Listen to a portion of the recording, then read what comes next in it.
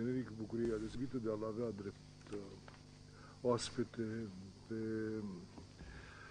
domnul uh, Horia Roman Patapievici, unul dintre cele mai strălucite condei care ale țării, cred, la ora actuală. O spun asta după ce o săptămână am stat cu o carte care mi se pare cu totul excepțională, un volum de seuri, cerul văzut prin lentilă, îndreptați o cameră, ci a apărut uh, această culegere de seuri, a apărut la editura Nemira, care se găsește în librării, uh, trebuie să vă procurați, o veți face cu certitudine după ce vom răsfoi o vom răsfoi alături de autor în această, în această întrunire a noastră. Uh, domnul Horia Roman Patapievici este un om foarte tânăr, e născut în 1957, este director de studii la Institutul de Studii Germanice, lângă Facultatea de Filozofie a Universității din București, autor a zeci de eseuri, primele au apărut deci la Nemira, editura Humanitas pregătește un eseu autobiografic, Zbor în bătaia săgeții, Uh, este absolvent a Facultății de Fizică, pregătește o teză de doctorat în filozofia științei. Din 1993 conferențează la universitate pe teme de filozofie, de istoria ideilor și de istoria științei. În prezentare o bursă facilitată de Institutul Goethe. Mi se pare că mâine dimineață pleacă din nou în Germania spre Frankfurt. Uh, cartea a apărut, a fost lansată în urmă doar cu o săptămână. Îmi pare rău că n-am participat la în momentul lansării mi s-a, fost, mi s-a povestit că a fost uh, un eveniment de ordin cultural. Domnul Patapievici uh, mi se pare un eseist de forță, mi se pare o conștiință a țării la ora actuală. Au apărut două notiții în această săptămână și în Dilema și în România Literară mm, de la călătorie în lumea formelor la lui Andrei Pleșu, despre care Frunzeti scria în prefață că are o mare capacitate de a formula precis, clar și nuanțat și o frapantă amploare a referințelor de istoria artelor și de istoria culturii în genere, o spontaneitate a ideilor și neașteptate asociații mentale, aprecieri care îi se potrivesc întru totul și lui Horea Roman Patapievici, care cei drept e cu 10 ani mai bătrân decât era Andrei Pleșu în 1974, care cei drept e cu 10 ani mai bătrân decât era Andrei Pleșu în 1974, n-a mai apărut în spațiul românesc un debut în eseistică, atât de matur, de spectaculos, de impunător. Uh, cartea trebuie să afle constant, încheie recenzentul, în atenția noastră operativă. Iată că personalitatea domnului Patapievici se află astăzi în atenția noastră operativă. Uh, recenzie scrisă cu umorul specific domnului George Pruteanu. Și anume de locotenent major în rezervă, George da. Pruteanu. E, da, toți cei care au terminat câte o facultate avem și asemenea grade până la locotenent major.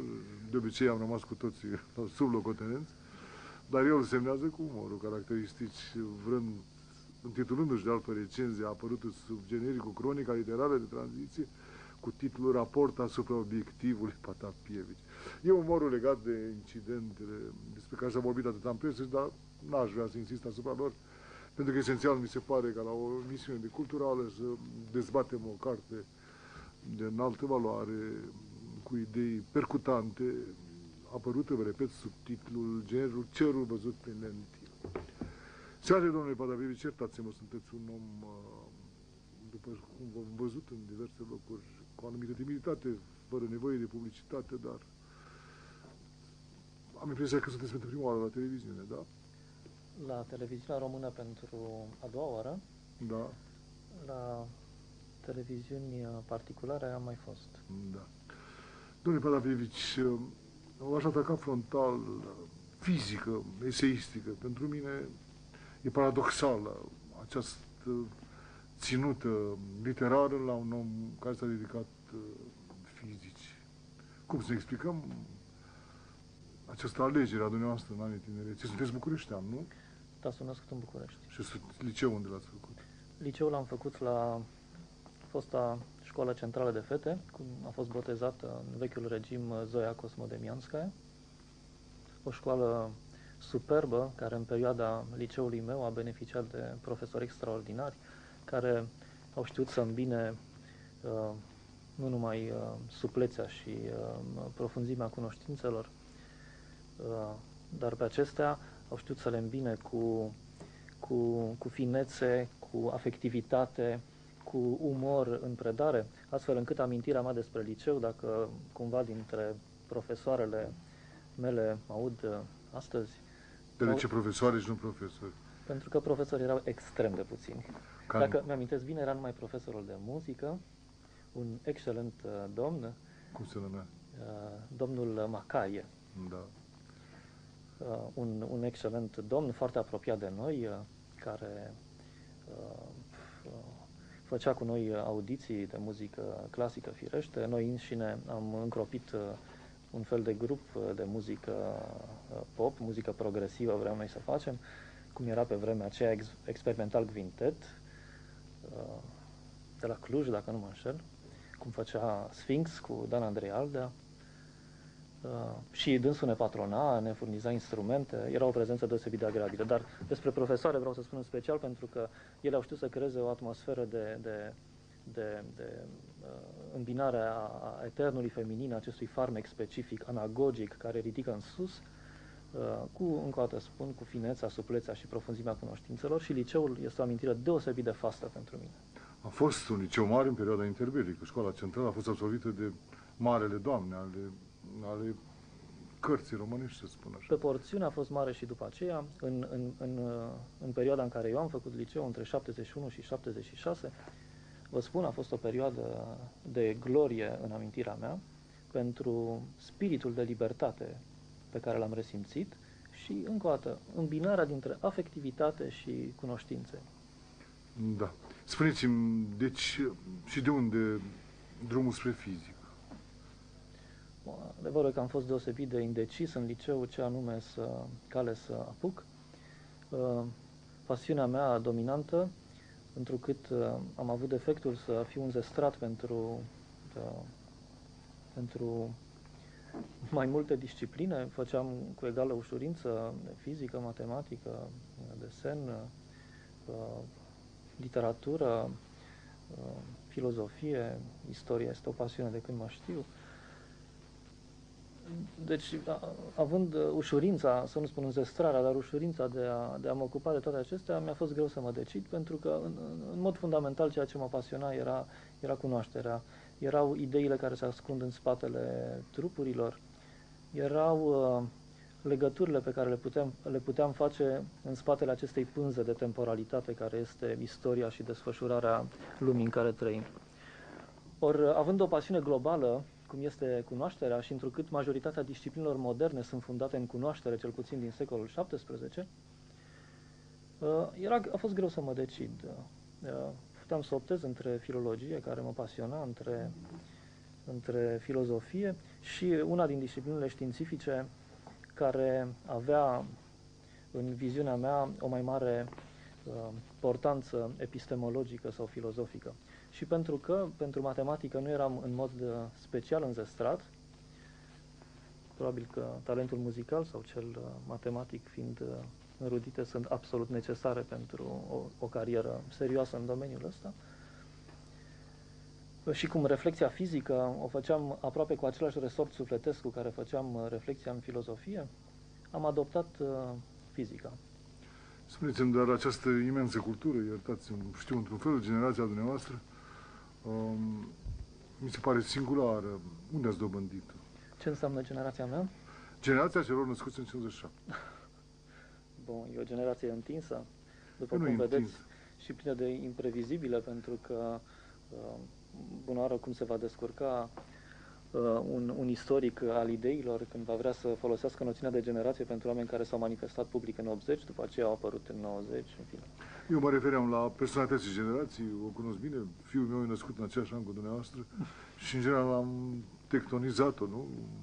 M-am oprit de multe ori asupra ei. Dar de această imensă cultură latină, filozofică, um, dincolo de talentul scriitoricesc, a fost dobândit în liceu? În liceu, cum v-am spus, am făcut o mulțime de lucruri care erau în afara programei. Dacă, dacă acum mă concentrez să-mi amintesc ce am făcut exact în liceu, aproape că nu mi-amintesc o perioadă din viața mea în care gândul de a, vă, de, a, de a învăța pentru școală să mă fie obsedat. Ce mi-amintesc sunt cărțile pe care le-am citit atunci, Unele le citeam în clasă, în timpul orelor, spre disperarea unora dintre profesorii care mă surprindeau uh, asupra faptului. Îmi amintesc acum, îmi vine în minte, poetica lui Aristotel, am citit într-o oră de biologie, într-o succesiune de ore de biologie. Uh, de atunci, uh, deosebit de impresionat de modelul de personalitate Mircea Eliade, am încercat să adopte rețetele pe care el le-a expus în volumul întâi de memorii, în Mansarda, privitor la obținerea unui timp cât mai condensat, în vederea Uh, nu acumulării a cât mai mult, ci a cunoașterii a cât mai mult. Mai era vreun coleg care citea poetica lui Aristotel în liceul Zoia Cosmodemianskaya? Oh, da, în mod, uh, aveam, uh, am avut uh, uh, prieteni cu care am emulat tot timpul liceului. Unul dintre ei este deja cunoscut, e vorba de Dominic Dembinski, alături de care am trăit o foarte vie amitie amurez în liceu.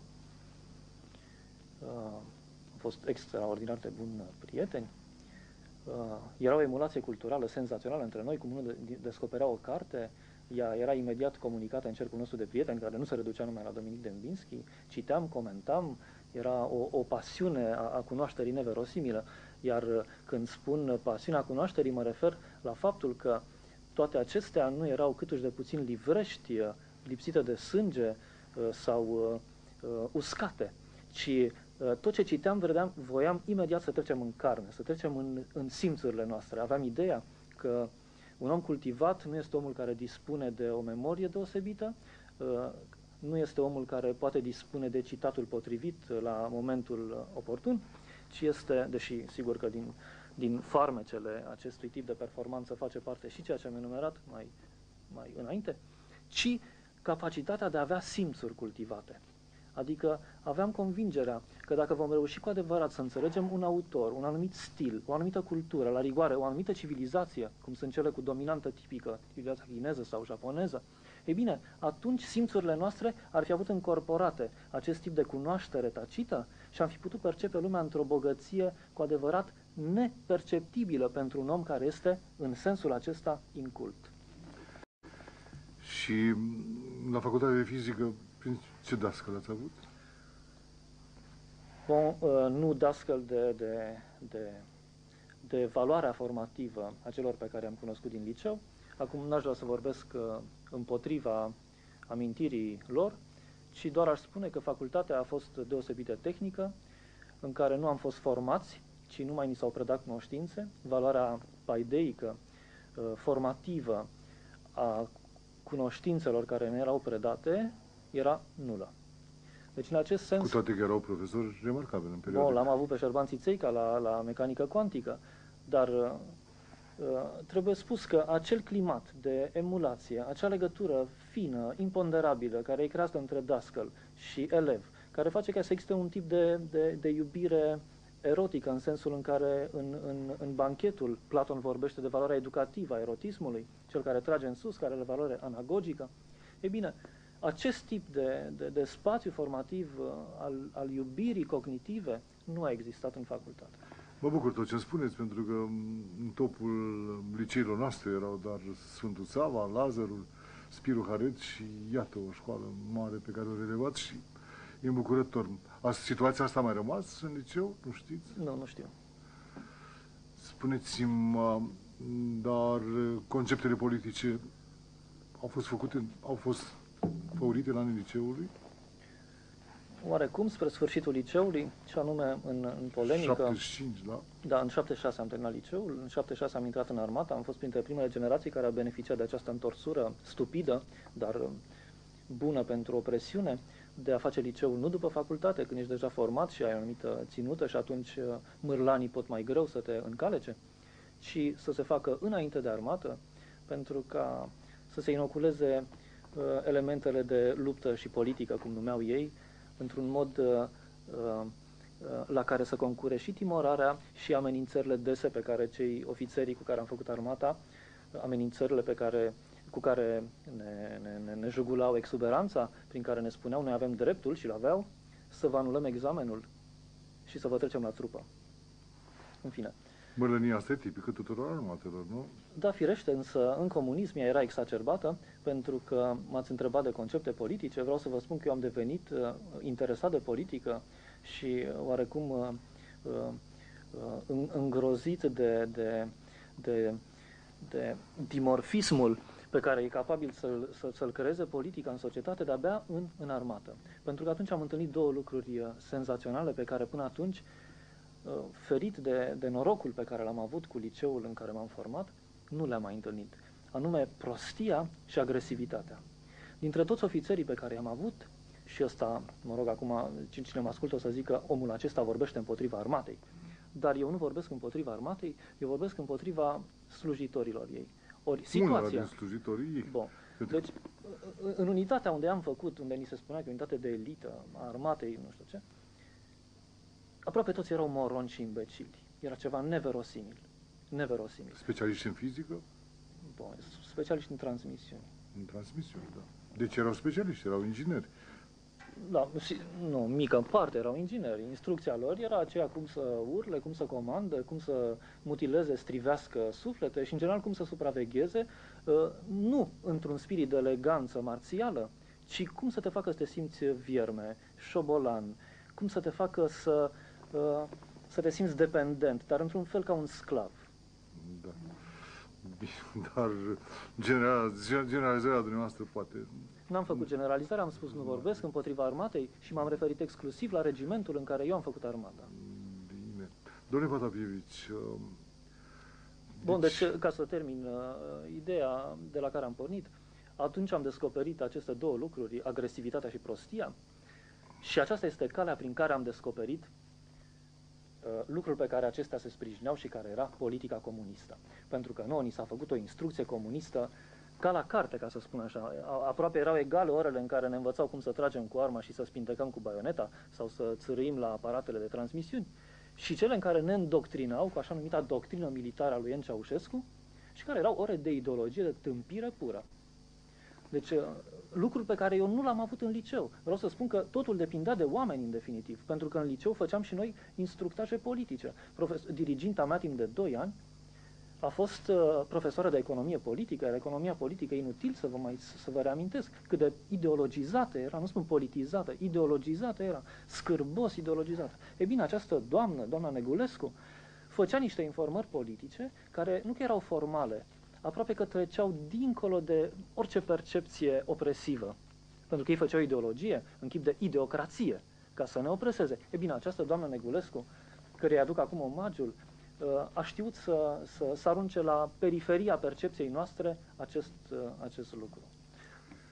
Îmi Um. amintesc de, de, de, de, de un coleg de-al meu care acum este în Canada, Pută Lucian, care a venit să rândul să, să facă uh, prezentarea după un articol de ziar a ultimei cuvântări a lui N. Ceaușescu. Uh, el s-a ridicat în picioare, vădit stânjenit și doamna Negulescu l-a întrebat, hai Lucian, încep și spune, te rog, uh, uh, ideile principale. Și el s-a codit puțin și apoi a spus, îmi pare rău, n-am găsit nicio idee principală. um, F- uh, Doamna nu s-a formalizat câtuși de puțin, a luat-o ca, ca, ca, ca o glumă și am trecut mai departe. Am auzit lucruri sinistre despre oameni care, pentru lucruri mai veniale decât acesta, au luat măsuri politice, au denunțat mai sus în ierarhie și au avut efecte groaznice pentru cel în cauză. totul pornea de la elevi, de la clasa de elevi în generația mea. Mm, Și profesorul era înfricoșat pentru asta. Da. Spuneți-mi, dintre colegii noastre, câți au rămas în țară?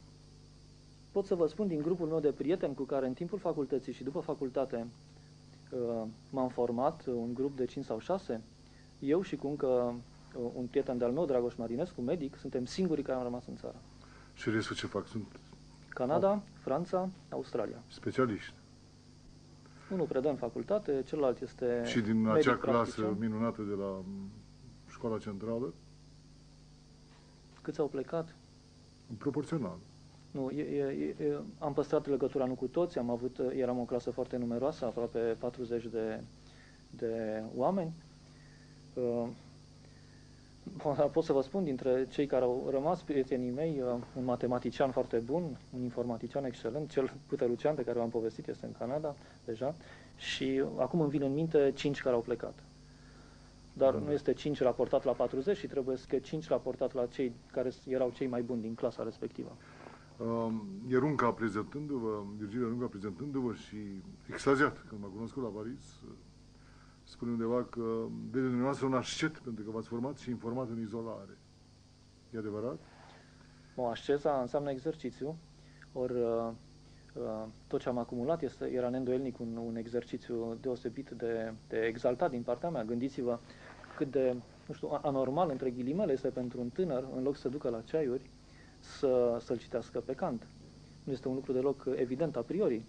Adică, uh, și când vă spun asta, nu vă spun pentru a, a, a sublinia efortul pe care l-am făcut, ci pentru a sublinia tipul de motivație care exista. Era această motivație pe care deja am amintit-o, că poți să devii altceva, în mod esențial altceva, dacă asimilezi în mod apropiat cultura. Ori ăsta era un ideal pentru noi fundamental. Noi vroiam ca cărțile să ne treacă în carne. Noi, fiind generația noastră, colegii noastre... Când spuneți generație prea vast, eu și prietenii cu care aveam uh, un comerț uh, afectiv uh, interesant. Vă supărați dacă mă întreb din ce mediu proveniți, familiar? Părinții mei sunt economiști, surorile mele sunt economiste, eu sunt singurii care mă abat de la regula economiștilor în familie. Soția mea e economistă.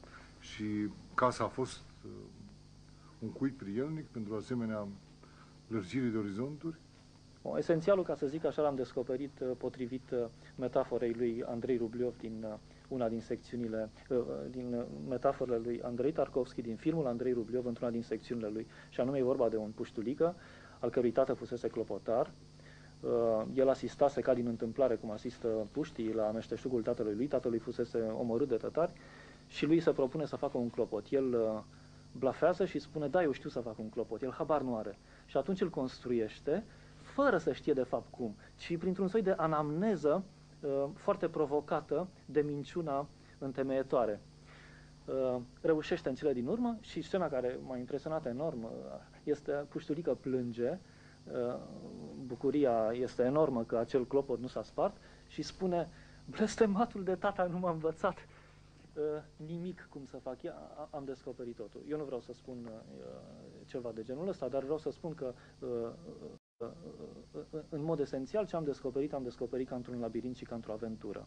Adică în casă am descoperit câteva cărți, dar nu erau cele care au fost esențiale pentru formarea mea. Nu știu exact cum le-am descoperit. A fost un flair și o întâlnire fericită, ca în modul în care uh, uh, pot spune că împlinirea destinului tău este ca o iubire în care ți se răspunde. Pentru mine este clar că această voluptate medoseistică este funciară pentru personalitatea lui Hasher Patapievici. Fizica v-a ajutat să vă împliniți acest destin literar? Științele exacte? Neîndoielnic. Neîndoielnic. Fizica este o pasiune uh, do dominantă a ființei mele, care uh, se subsumează pasiunii uh, mai bazale, care spun așa, care este pasiunea pentru cunoaștere. Când spun asta, Uh, interesul meu fundamental la început uh, în teologie era foarte similar cu cel pentru filozofie sau pentru fizică. La câți ani? La ce an a fost?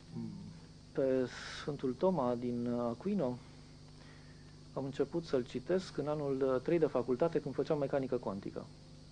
Și o legătură? Bun, n-aș spune că e o legătură directă, dar vreau să spun că simțurile prin care noi asimilăm cultura sau prin care identificăm idei și le, le, le, le le asimilăm organic în, în structura noastră generală de cunoaștere, ele nu sunt neutre. Adică, dacă poți să faci lucrul ăsta, în același timp, vreau să spun că efortul ca să înveți cuantica, ă, orice absolvent al fizicii știe că anul 3 este anul crucial, este să fac numai materii teoretice și este foarte dificil. Ori, în, ă, dacă acel tip de efort îți permite să, să citești, ă, atunci am citit prima carte din Suma Teologica, înseamnă că simțul cognitiv care le percepe pe amândouă le, nu le percepe ca antagonice sau ca frustrant opuse. Și tomismul e o doctrină filozofică și Bun, a, devenit, și fizică. a devenit o doctrină. La început a fost o, o investigație de, de o onestitate intelectuală care poate da lecții multor uh, apedeuți din vremea noastră. Domnule Padavici, ce v-aș propune eu? Aș trece în revistă câteva din tezele noastre în această discuție, nu? Frica patologică, care ca orice cădere în biologie e dincolo de bine și rău, spuneți undeva. Ați fost vreodată înfricoșat? Așa cum scriu acolo? Mm. Nu, dar am văzut-o la o persoană care mi este, mi este foarte apropiată și care credea că va muri. Și această frică animalică, dar animalică nu în sens urât. Animalic uh, este în definitiv uh, un comportament al sufletului, al unei părți din sufletul nostru. Ei bine, acest tip de, de, de frică în fața morții sau în fața degradării sau în fața durerii fizice, pe care nu o disprețuiesc câtuși de puțin, o respect enorm. Ei bine, acest tip de, de, de frică este infinit respectabilă și, uh, bun, nu e, nu e ușor să-i faci față. Fiecare joacă valoarea și eternitatea în fiecare clipă a vieții sale. Așa este? Este riguros adevărat. Gândiți-vă, noi suntem ca, ca, ca niște clepsidre, în sensul că uh, posibilitățile noastre generale de a fi sau de a deveni sunt uh, cumva ca nisipul uh, încă nescurs prin uh, gâtul uh, clepsidrei, iar prin gât, care e foarte îngust, nu trec decât uh, aproape granulă cu granulă, praful, iar în metafora mea sunt posibilitățile noastre de a fi. Noi actualizăm, uh, restrângându-ne foarte mult și gândiți-vă că în această intersecție se joacă riguros totul. Noi nu avem decât actualitatea prezentului, care într-un sens este nu în xtans, este chiar, uh, chiar eternitatea, dar în fine e o eternitate glisantă. Or, uh, Și viața e atât de gravă în fiecare clipă? Gândiți-vă, ea este plină de ceea ce un, un scriitor catolic francez numea uh, le don précieux de la frivolite, darul, uh, harul prețios al frivolității, care e aproape o valoare teologică. Uh, neîndoielnic că putem trăi viața și sub această instanță a frivolității. Frivolitate și teologie? Bun, vă spun. Uh, Deci putem, uh, putem, putem trăi sub specia frivolului, însă în fond uh, trebuie să știm următorul lucru, că ceea ce trăim, trăim o singură dată, într-un singur fel, și anume în felul în care am ales să-l trăim, și că pe calea pe care am apucat-o, care este unidirecționată, există numai uh, un trecut pe care îl putem re- regreta uh, datorită acestei intersecții unice cu, dintre temporalitatea noastră și eternitate. Și acest raport între gravitate și frivolitate nu, e, nu trebuie să fie sincronic? Ea poate fi sincronic pentru naturile care sunt capabile să, anu- să, să asume coincidenția opuselor. Uh, sigur că ele sunt riguros opuse, dar uh, vă atrag respectuos atenția că aceasta este o practică ascetică, dacă vreți, deosebit de complicată. Adică uh, acel spirit care este capabil să trăiască simultan seriosul și uh, fundamentala ușurătate a ființei, acela este un om care deja, în termenii pe care i-a citat privitor la frica animalică, este dincolo de bine și rău. Mozart este un asemenea tip? E Mozart uh, persoana sau Mozart pe care îl inferez din uh, muzică? Nu Mozart, cel care zâmbea printre lacrimi. Bun, s- cred că scrisorile lui, în care are așa niște propouri interesante despre moarte, ne, ne întrituiesc să spunem că în unele momente ale vieții lui, cu siguranță că a, rezistat această, a realizat această coincidență a opuselor. Pentru că trebuie imediat spus că cine o realizează odată nu este asigurat că o va o realiza în continuare. Dar coincidența opozitorului de care, la care vorbiți mereu este dominantă a oricărui spirit înalt. Nu? Este dominantă ca orizont, ca, uh, cum ar spune Kant, ca idee regulativă. Dar să o faci constitutivă în viața ta și să dispui de ea cum vrei, ca de o unealtă, în felul în care dispun de ceasul meu când îl consult. Asta, spre fericirea noastră și unor spre disperarea superficialilor, nu este posibil. Dar e un imperativ categoric, coincidența opozitorului în personalitatea lui Horia Roman Patapievici. Nimic nu este un, un, un, un imperativ categoric. În privința asta, ceea ce este anterior și fundamental pentru orice decizie este o libertate și o spontaneitate absolută. Bun, eu pot institui un imperativ categoric pentru anumite lucruri, dar eu îl institui. Iar când spun eu îl institui, nu, nu, spun, nu, nu fac un act de subiectivism sau de solipsism. Eu spun doar atât. În raportul meu cu Dumnezeu, pentru că eu, eu cred în Dumnezeu, eu institui acest imperativ categoric, iar Dumnezeu mi-l dă numai prin libertatea mea. Dumnezeu e în viața marilor fizicieni ai lumii? O, sunt uh, surprinzător de numeroși fizicieni care nu doar că au avut o credință în Dumnezeu, ceea ce este un, un, un uh, instinct cognitiv uh, privat, Și un mod de existență. da, și care nu poate fi pus în discuție sau uh, în evaluare, dar foarte mulți fizicieni au, au, erau cititori de teologie, cititori de texte în marginea reflexiei teologice. Einstein și Infeld și Teller și Oppenheimer au crezut în Dumnezeu? Însă Infeld, nu știu dacă despre el este valabil, însă, El a trăit în Polonia, săracul. însă, însă toți ceilalți pe care i-ați enumerat uh, au avut un, un raport cu Dumnezeu care nu este un raport simplu, în definitiv. Toți aceștia au fost oameni deosebit de, de, de, de, de inteligenți, a căror inteligență a pătruns în domenii în care reflexia fizică se învecina surprinzător de mult cu reflexia teologică. Deci există, uh, dincolo de Dumnezeul privat al fiecăruia, ceea ce încă o dată este o opțiune care nu poate fi evaluată din exterior și eu îmi suspend judecata în privința a ceea ce face fiecare, dar prin proximitatea acestor două tipuri de reflexii, uh, erau constrânși să ia în considerare ca subiect epistemic pentru disciplina lor care era științifică, acest lucru pe care scolasticii l-au numit Dumnezeu. Dar nu frica de care vorbeam ne duce spre Dumnezeu? Frica de moarte? Mă gândesc la Einstein. Mă gândesc la Beethoven. Cât timp ești sănătos și uh, simțurile tale nu deraiază, adică atunci cât uh, nu există ceea ce Cioran numea o urgență a catastrofei, uh, Dumnezeu nu, nu te îmbrâncește. Dumnezeu poate fi adânc descoperit în tinerețe, așa cum s-a întâmplat la dumneavoastră? Cu siguranță că da. Am prieteni care, care s-au convertit. uh, Un foarte bun prieten, Sorin Apan, care este profesor de fizică în Brașov, el s-a convertit în anul întâi de facultate, pornind de la niște experiențe pe care le-a avut și în care a fost îndrumat uh, ce cale anume să dea, cum să-și rezolve uh, criza, drama prin care trecea, pentru că uh, noi de obicei spunem, a avut revelația lui Dumnezeu, iată ce fericit a fost. Nu, e, o- e, o- e o dramă profundă. Dumnezeu uh, uh, este perceput uh, inițial ca un tremendum și în final tot ca un tremendum, sigur. Uh, Deci nu e, nu e o experiență simplă uh, și- sau uh, la îndemână. Ori uh, Sorin Apan, prietenul meu, a fost îndrumat de un fizician pe care l-am cunoscut în practica noastră productivă într-un laborator din Iftar. Da. Acum înțeleg eseurile noastre finale despre raportul de creștinism și știință.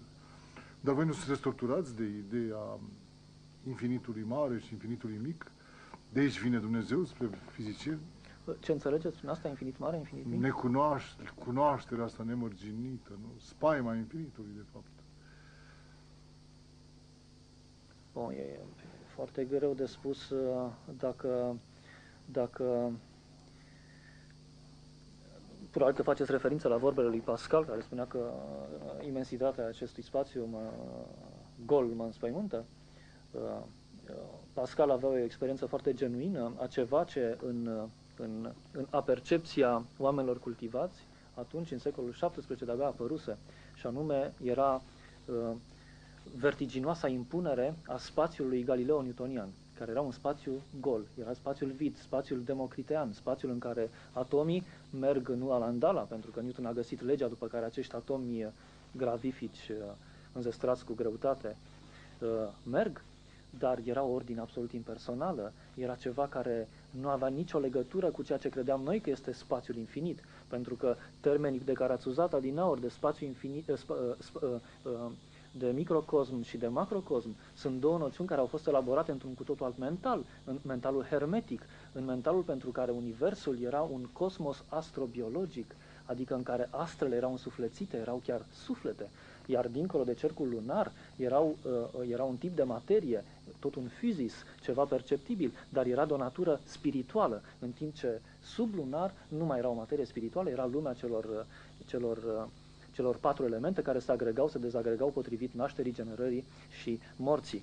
Ori, uh, în momentul în care acest, uh, acest mental uh, hermetic, acest mental uh, bazat pe un cosmos astrobiologic, a intrat în colaps, odată cu începutul secolului XVII și în fond cu lichidarea renașterii care se petrecuse cu un secol mai, mai înainte, în acel moment, uh, oamenii foarte sensibili și cu, cu cu, cu cerință religioasă, cum era Pascal, au sezizat brusc enormitatea acestui lucru. Bine, dar noi unde ne găsim? Dacă lumea este omogenă, spațiul este doar acest lucru în care Democrit se combină cu rigoarea matematicii lui Platon și nu există decât legea uh, uh, gravitației care variază, în care îmi spune că corp, corpurile se atrag în mod orb potrivit inversului pătratului distanței, e bine, dacă lumea arată așa, unde este Dumnezeu? Unde sunt eu?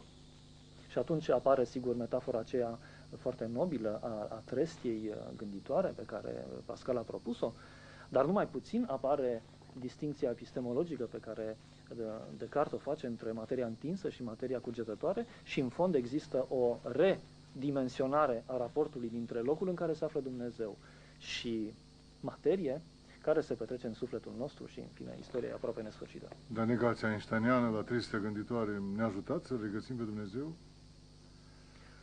Dumnezeu, e, ca să spun așa, este interlocutorul nostru permanent, deși ascuns. Îl regăsim în orice cotlon de știință, dacă o facem cu suficientă profunzime. Noi este, Dumnezeu este, în sensul în care Kant în definitiv a spus, este o, o idee regulativă a naturii, a, a rațiunii pure. Ori, ori din cauza asta ne îl regăsim peste tot, pentru că el este constitutiv modului în care noi punem problemele în definitiv. Adică noi avem un raport de transcendență cu absolut orice, pornind de la transcendența spațială. Dumneavoastră sunteți transcendent în raport cu mine, în sens slab, pentru că nu există nicio, nicio funcție continuă care uh, să, să plece de la dumneavoastră să ajungă la mine sau invers. Noi suntem separați în mod absolut ireductibil. Și există transcendența în sens stare, care este aceea dintre, dintre naturile profund diferite, transcendent diferite. Noi suntem amândoi oameni, deci suntem similari în natură. Dar există transcendența dintre naturile diferite, care e transcendența în sens stare. Ori or acest raport nu poate fi ocolit. El este, într-un fel, băgat în aproape toate raționamentele noastre și uh, orice raționament uh, prin care noi interogăm lumea, Uh, suferă de acest petiție principii în care Dumnezeu este postulat la început în modul în care formulăm întrebarea și este inevitabil să nu-l găsim la sfârșit prin cotloanele profunzimii științei respective. Seducătoare orice discuție cu dumneavoastră, dar părăsim um, de Isusul și aș vrea să-mi explicați un citat de Monterlang pe care îl spuneți în finalul unui Nu există cu adevărat în orice țară decât două partide partidul celor care îndrăznesc să spună nu și partidul celor care nu îndrăznesc. Când cei care nu îndrăznesc depășesc în mod semnificativ numărul celor care o fac, atunci țara respectivă este pierdută. Ce comentariu să mai fac decât să vă reamintesc ce s-a întâmplat cu noi înainte? Colapsul uh, României profunde, pentru că un colaps la acest nivel a fost înregistrat în urma eșecului nostru, al românilor, al nostru ca popor, ca societate, ca națiune, de a da un răspuns adecvat demn Uh, la început ancurilor sovietice, apoi uh, modul în care românii le-au, le pus bocan cu gură altor români. Și ulterior acestei alianțe impure în care te las să trăiești uh, dacă tu spui bancuri în, în wc nu mă interesează, dar pe față trebuie să suporți prezența mea, a, mine, a, a mea ca putere. Și uh, uh, să admiți această, acest sacrificiu al, al demnității publice, uh, ca eu să nu te stârpesc. Asta a fost. Noi nu am răspuns adecvat acestui tip de provocare și s-a înregistrat un colaps uh, la nivelul nostru profund, pentru că noi trăim astăzi o dramă identitară, în mod absolut clar. O pot oricând argumenta. Or, uh, spus asta lui Monterland, ca să spun așa, ca, ca, ea, ea nu are nevoie de comentariu. Noi suntem comentariu pentru această spusă. Și uh, uh, aproape că uh, îi, îi scădem din, uh, din uh, din, din tărie dacă am încercat să comentăm. Este a priori evident. De această um, permanentă ancorare a dumneavoastră în politic, cât timp Pascal, Descartes, Einstein, Newton sunt în dumneavoastră, nu vi se pare un act uh, peorativ, poate, și... Politica? Da. Pentru că tot timpul faceți apel la politică. Credeți în politică? Mai mult decât Aristot. Este absolut constitutiv pentru noi. Politica este forma în care noi existăm actual în mod public. Deci dacă eu aș putea să exist în, în, în abstracție de, uh, de toți oamenii care mă înconjoară, dacă aș putea să, să-mi rânduiesc o existență absolut sihastră, atunci cu siguranță că politicul nu ar juca niciun rol. Dar în momentul în care, cum, cum, cum în Evanghelie se spune, dacă sunteți doi în numele meu, atunci sunt și eu prezent acolo. E bine, la fel este acest tip de instituire, care este instituirea de fapt a nucleului bisericii, prin prezența lui Dumnezeu acolo unde sunt doi care vorbesc în numele lui Dumnezeu. Acest tip de instituire există și în, și, și în uh, social. E suficient ca doi oameni să aibă ceva de schimbat între ei pentru ca politicul să fie constitutiv prezenței lor în lume. Cu alte cuvinte, a spune că cultura este mai important decât politicul este o, o gravă eroare. În primul rând este o eroare uh, epistemologică, pentru că modul în care noi suntem în lume, modul de a fi al omului în lume. Eliade dăduse o, o trinitate celebră, spusese că omul este o făptură uh, culturală, sexuată și uh, muritoare. Uh, Bo, se pot da o mulțime de astfel de secvențe, dar politicul cu siguranță face parte din ele, pentru că eu nu pot să fac abstracție de faptul că dumneavoastră existați, că sunteți o individualitate ireductibilă la a mea. Și asta face ca uh, în, în relațiile dintre noi doi uh, o valoare cardinală să fie politețea, iar o alta, în momentul în care eu sau dumneavoastră v-ați comportat de o manieră care ar, uh, ar transgresa umanul sau natura contractului dintre noi doi în prezență, atunci eu trebuie să am o capacitate netă, vie, genuină de a mă indigna. Acestea două cred că sunt valorile cardinale ale oricărei sociabilități. Politețea pentru persoana ireductibilă din fața mea și capacitatea de a mă indigna pentru abaterile ale mele de la moralitate civilă și ale, sau ale dumneavoastră. Fără acestea două, societatea se năruie. Dar rețineți, când eu exist și scriu o carte, eu presupun interlocutorul. Deci politicul există în chiar faptul că eu sunt în bibliotecă și scriu și așa mai departe. Indignarea epistemologică a lui Galilei era un act politic? Ce înseamnă indignarea epistemologică? Da, semnele lui de întrebare.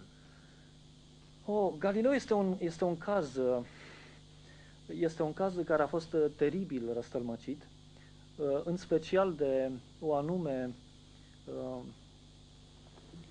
o anume sensibilitate anticlericală, care s-a îmbinat în secolul XIX cu o sensibilitate de stânga radicală și care a condus la binecunoscutul vodevil epistemologic al lui Brecht, dedicat lui Galileo. Spun că este un vodevil epistemologic pentru că este un scandal de incompetență epistemologică această carte. Este un om care a citit fie prost, fie voit orientat prost textele procesului. El a făcut o piesă politică. A făcut o piesă politică dinspre partea proastă a istoriei, în sensul că nu s-a situat la, la, în media bună a istoriei, pentru că poți să faci un act de propagandă nederogând de la media bune. Există cărți de propagandă care sunt excelente, totuși. Mă gândesc la, la, la dicționarul filosofic al lui Voltaire. Este evident o, o, o, o persiflantă jucăușă, uneori o, prostească, uh, uh, operă de propagandă. Deci un tratat filozofic, până la Sigur că da. Deci pot să faci un Dar lucru... Brecht nu și-a propus asta. Nici măcar un, un eseu filozofic. Brecht a a făcut o fost- piesă de teatru. a făcut o piesă de teatru uh, în care, întrucât numele personajelor care apar acolo sunt Galileo Galilei, un om cu o stare civilă atestabilă, pentru istorici cel puțin, în care apare cardinalul Belarmino, o persoană iarăși cu o stare civilă atestabilă. Nu ai dreptul să ai uh, fantezii nelimitate în privința vorbelor pe care îi le schimbă. În plus, valoarea unui act propagandistic într-o lume normală și nu în ca- una în care baionetele asigură adevărul, deci într-o lume normală în care există comerț liber de opinii, uh, este adevărul subiacent. Faptul că el nu a recurs la acest adevăr subiacent decât într-o măsură mai degrabă scandaloasă, dovedește, unu, că el miza pe baionete uh, și doi, că uh, uh, cogniția sa era profund falsificată. Bun. Uh, Dar Brecht viza pe baionete.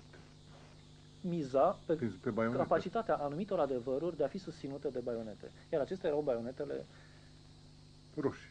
roșii. Bun. Așa, nu- erau nu- și ceilalți mari literați din epoca Brecht, de la, nu știu, la Barbis, la Romero Land. Uh, Nu, nu vreau să merg pe pista asta până nu, uh, vreau, uh, până nu spun câteva cuvinte despre uh, ceea ce dumneavoastră ați numit uh, uh, mirarea epistemologică a lui Galileo. A lui Galileo. Dacă are substrat politic. Uh, Nu pentru că această ancorare în politic. Sigur că avea substrat politic. Toată decizia bisericii este de natură politică, dar miza reală, pardon, miza reală a, a procesului este una de natură uh, de, de natură metafizică. În fond, uh, existaseră în secolul uh, XIV, în, în, uh, în uh, anumite eminente figuri ale scolasticii uh, pariziene, uh, doi nominaliști eminenți, uh, cum a fost uh, uh, Buridan și Nicolaus Oresmus, sunt doi oameni care aproape sp- au spus uh, tot ceea ce Galileo a spus și a fost condamnat atunci de biserică. Uh, Buridan nu era un om al bisericii, dar Oresmus era, era episcop de Lisieux. Ori el nu a avut câtuși de puțin de suferit de pe urma lucrurilor pe care le-a spus. Problema cu Galileo era cu totul alta. Era faptul că cu, cu aproape un secol mai, mai, mai devreme avusese loc uh, catastrofala sciziune dintre ceea ce s-a numit protestantism și restul lumii catolice, care a condus în cele din urmă la contrareformă, care sunt două, cum a demonstrat foarte, foarte pertinent uh, Ioan Petru Culianu, sunt două forme de fundamentalism care și-au răspuns una alteia, un fundamentalism l-a combătut pe celălalt și principala victimă a fost inevitabil acel lucru senzațional pe care toți îl admirăm uh, și care a fost renașterea.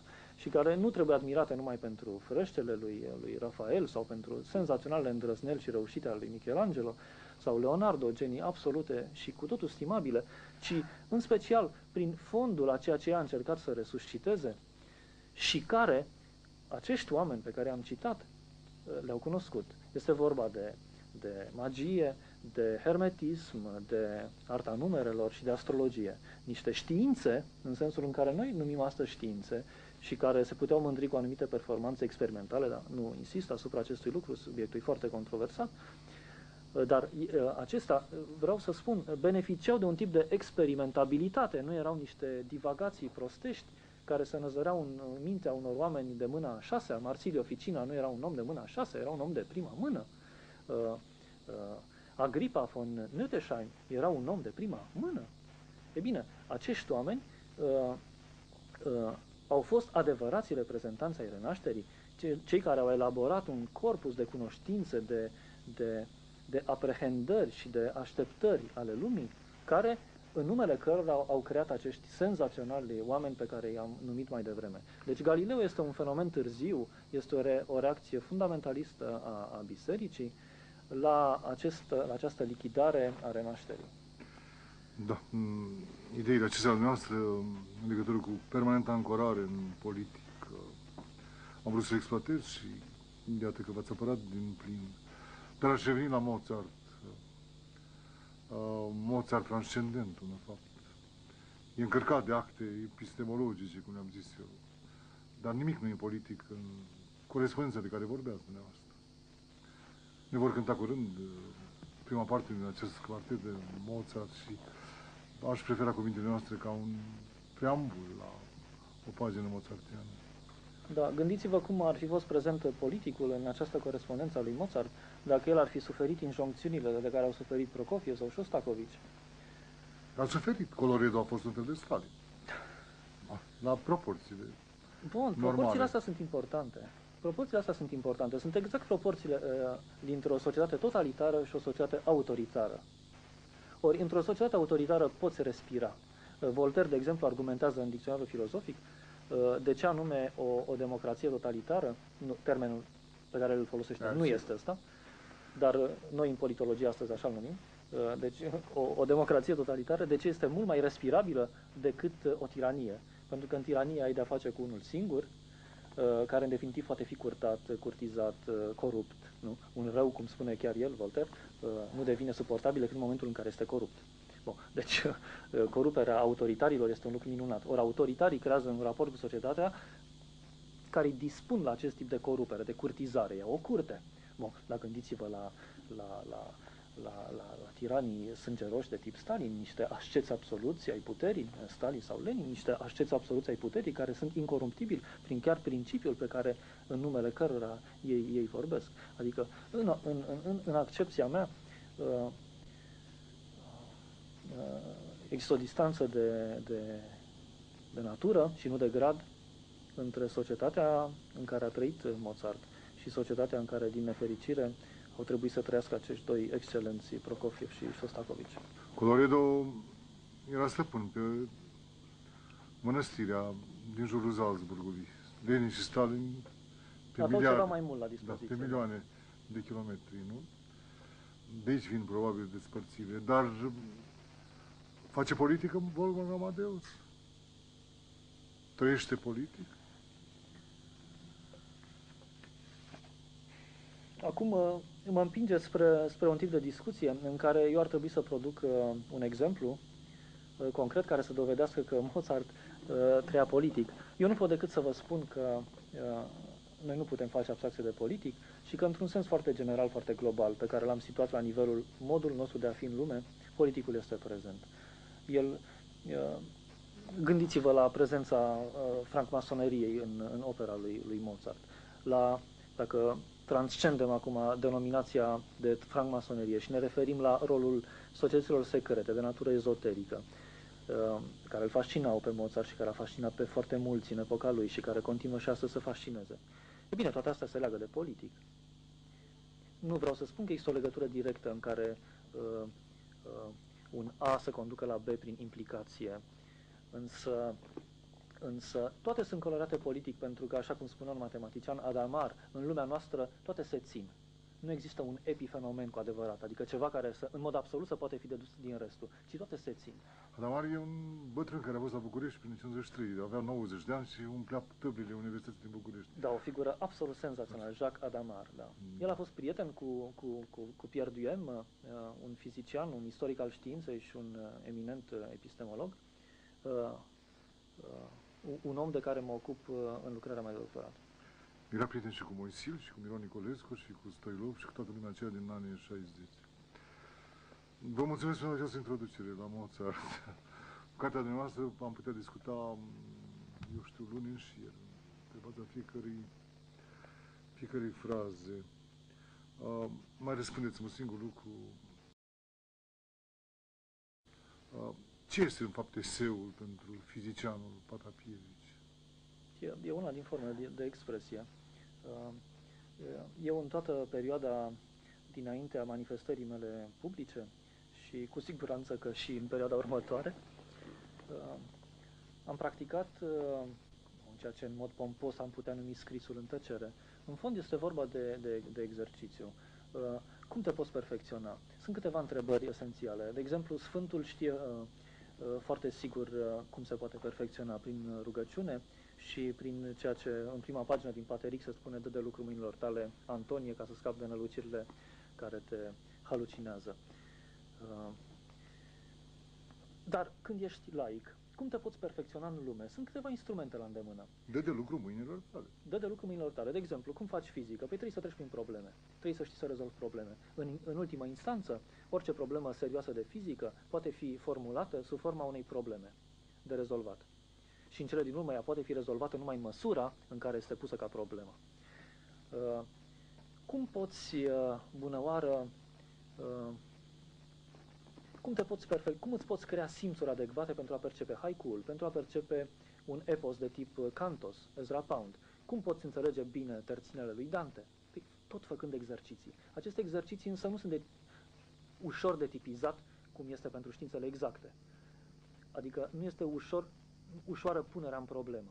Dar eseul, bună oară, cum, cum, prima oară am avut acces la, la o interesantă problemă a lui Dante, rezolvată de el în Vita Nova, și anume raportarea lui la Trubadur și la Il Dolce Stil Nuovo, cum?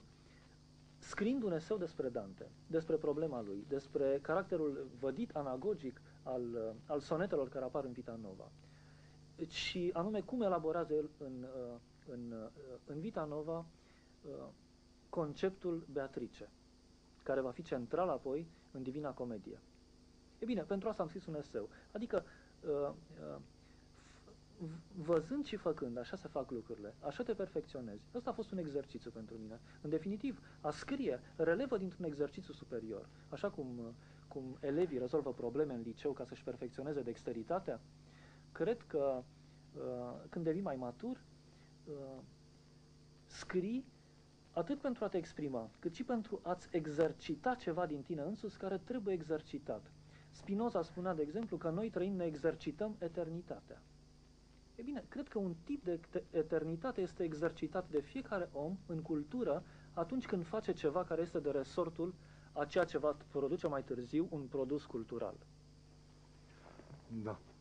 Pentru că a citat pe Dante, cel născut în 1265, toată, am spus greșit într-un început, cultura dumneavoastră.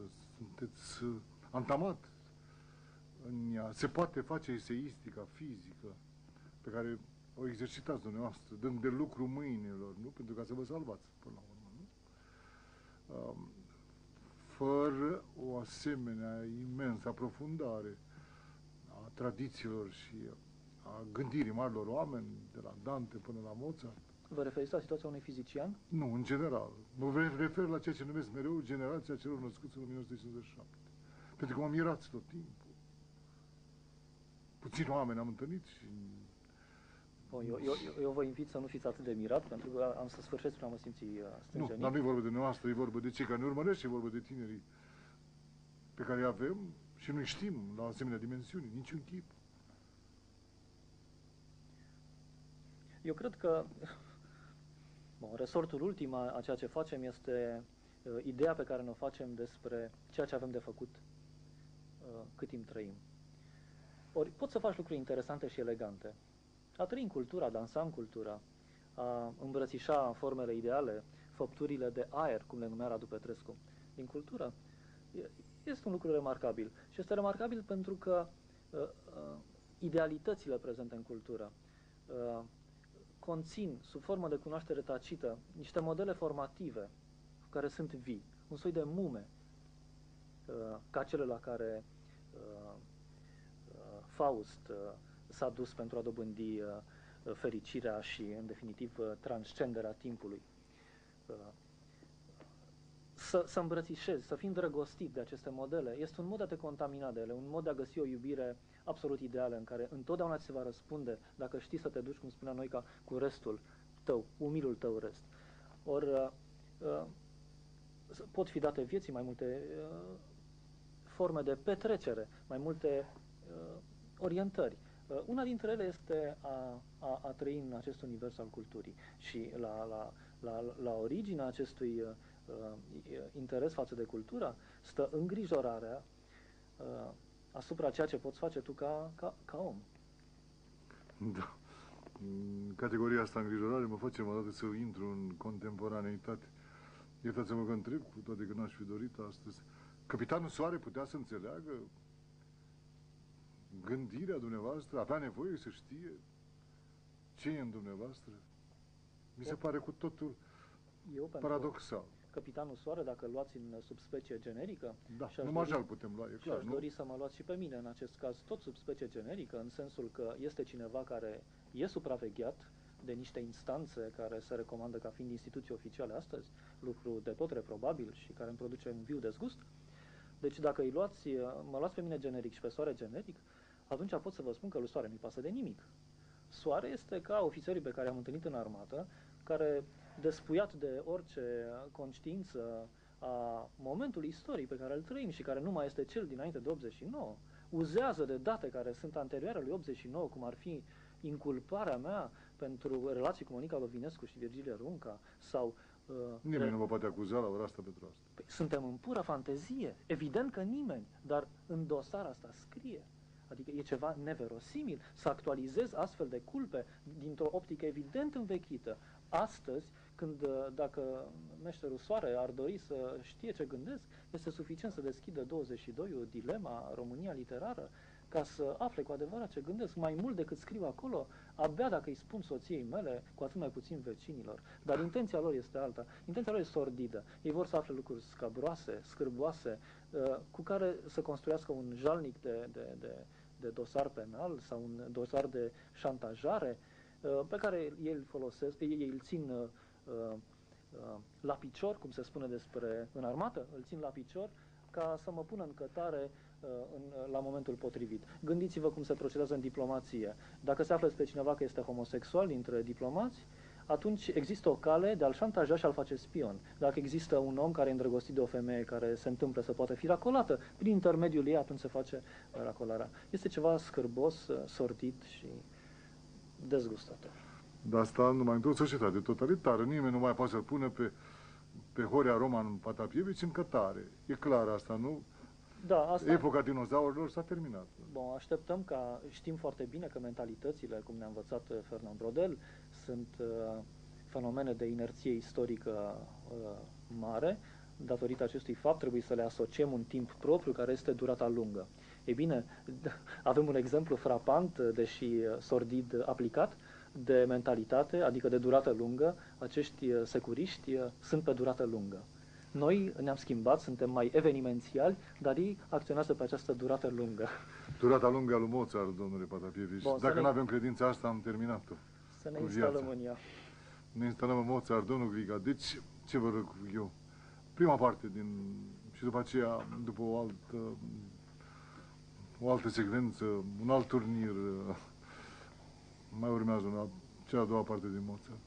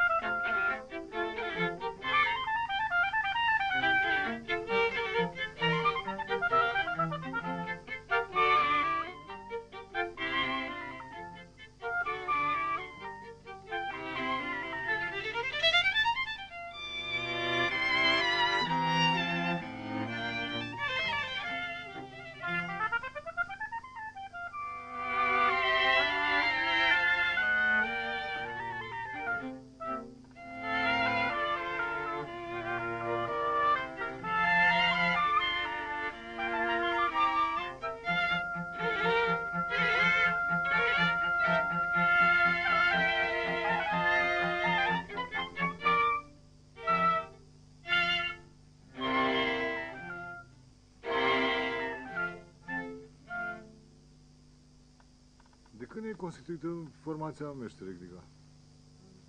Cred că are trei săptămâni.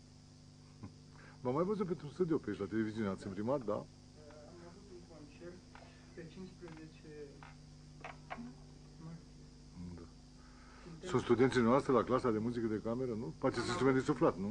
Da, am avut uh, același profesor de muzică de cameră în liceu, pe domnișoara Ana Maria Crețan. Dar sunteți generații cu totul diferite, sunt anul întâi, nu? Da.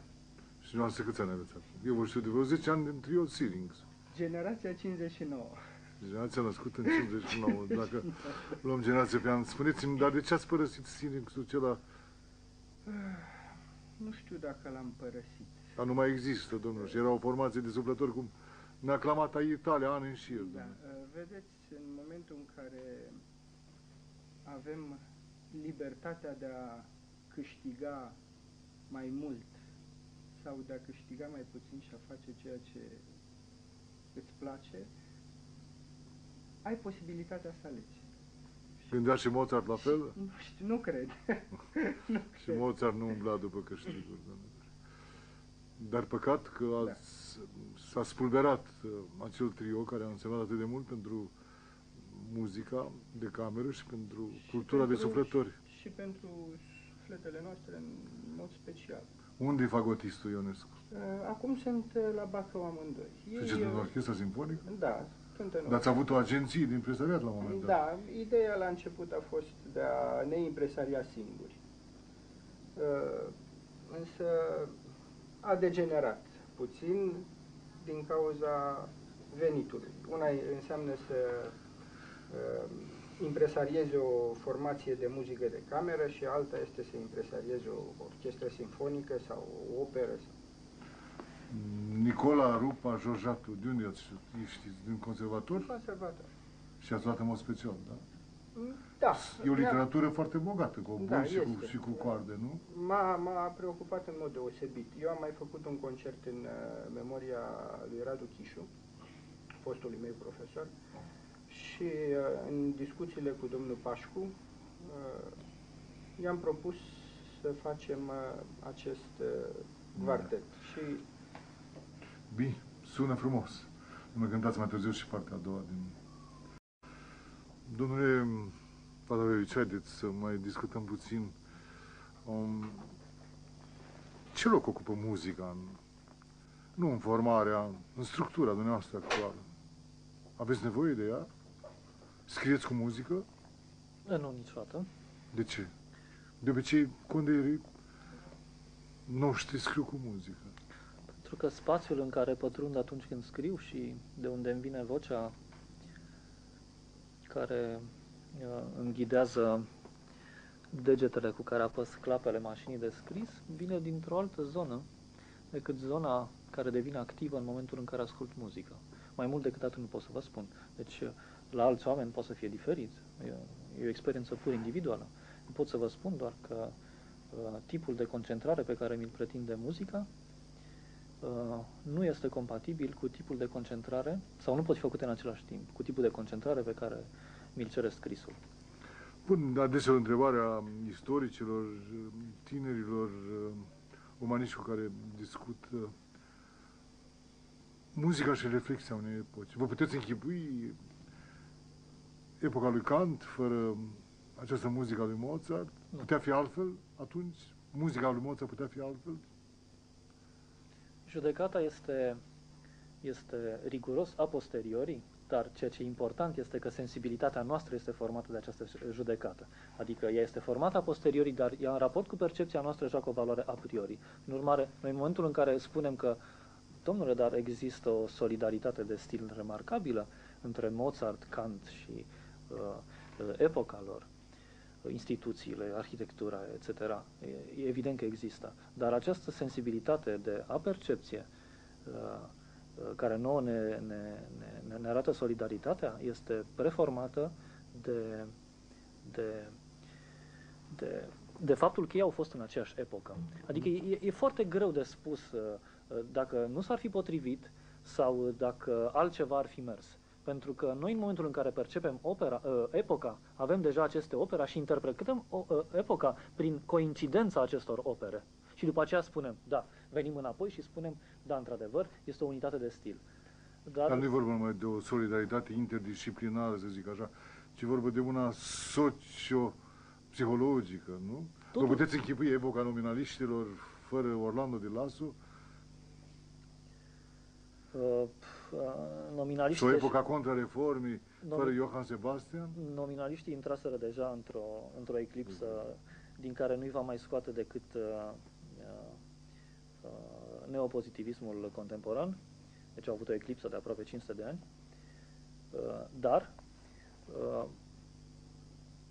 încă o dată, argumentul meu epistemologic este acesta. Eu, ca să-mi formez uh, judecata asupra epocii, judec operele. Și după aceea, din unitatea pe care o percep și din care fac ceva organic interiorizat percepției mele, vin și spun, da, operele, e, e un soi de petiție principii la mijloc. Da. Adică eu nu pot să, să sezizez opera, uh, iertați-mă, uh, epoca, altfel decât prin opere. Eu nu am o cale directă de acces la ceea ce am putea numi zeitgeist, uh, spiritul acelui timp. Noi ne formăm ideea despre spiritul timpului prin operele pe care le putem percepe. Prin urmare, mi-e imposibil să spun cu siguranță că lucrurile ar fi fost diferit. Există o variantă care spune, uh, foarte exploatată în, în, în gândirea cognitivă de astăzi, care spune că există practic o infinitate de, de universuri posibile și că, mă rog, cei care sunt platoniști și au, dau o interpretare tare acestei, acestei idei spun că, în fond, noi nu suntem decât o variantă din pluralitatea universurilor posibile și diferențele dintre aceste universuri posibile vin tocmai din faptul că, iată, să ne mai imaginăm că în epoca lui Kant, uh, Mozart nu compunea. Deja este cu totul alt univers. Suntem pe o altă variantă de evoluție, pe altă linie de univers, cum se spune în relativitate. Exista un alt Amadeus care compunea o muzică necesară epocii lui Kant. De acest, dar pentru că vorbea de zeitgeist creația contemporană răspunde comandamentelor noastre interioare? Știu foarte puțin din muzica contemporană. Ascultați? Uh, uh, cunosc uh, câteva din lucrările lui Aurel Stroe, uh, care sunt uh, uh, dificile și pretind un tip de, de, de, de experiență interioară uh, care este, așa cum a analizat uh, Aurel Stroie împreună cu dumneavoastră într-o, uh, într-un ciclu dedicat lui Gustav Mahler, care din păcate n-a fost dus la capăt, s-a oprit, uh, mi se pare că după Sinfonia a patra, pe care a apucat să o exemplifice în prima ei mișcare, mișcarea mozartiană. Asta s-a întâmplat acum 10 ani. Da, da. Deci atunci, Aurel Stroie, referindu-se la, mi se pare, la mișcarea întâia din Sinfonia 6, a spus că acolo este un exemplu clar de deconstrucție ontologică. Acolo el, uh, Mahler deconstruiește limbajul respectiv ontologia operei muzicale, care era tradițională, și pornind de la inimaginabila lui cunoaștere punctuală, prin dirijoratul, quasi un, el aproape a dirijat totul, deci, pornind la această cunoaștere punctuală, el avea o cunoaștere a, a, a tuturor încrengăturilor din ontologia operei muzicale, el a deconstruit-o și a pus în loc ce? A, a citat înainte de a intra în emisie cazul lui Celibidache, care îl consideră pe, pe Gustav Mahler, care este compozitorul meu favorit. Spuneați cum îl consider?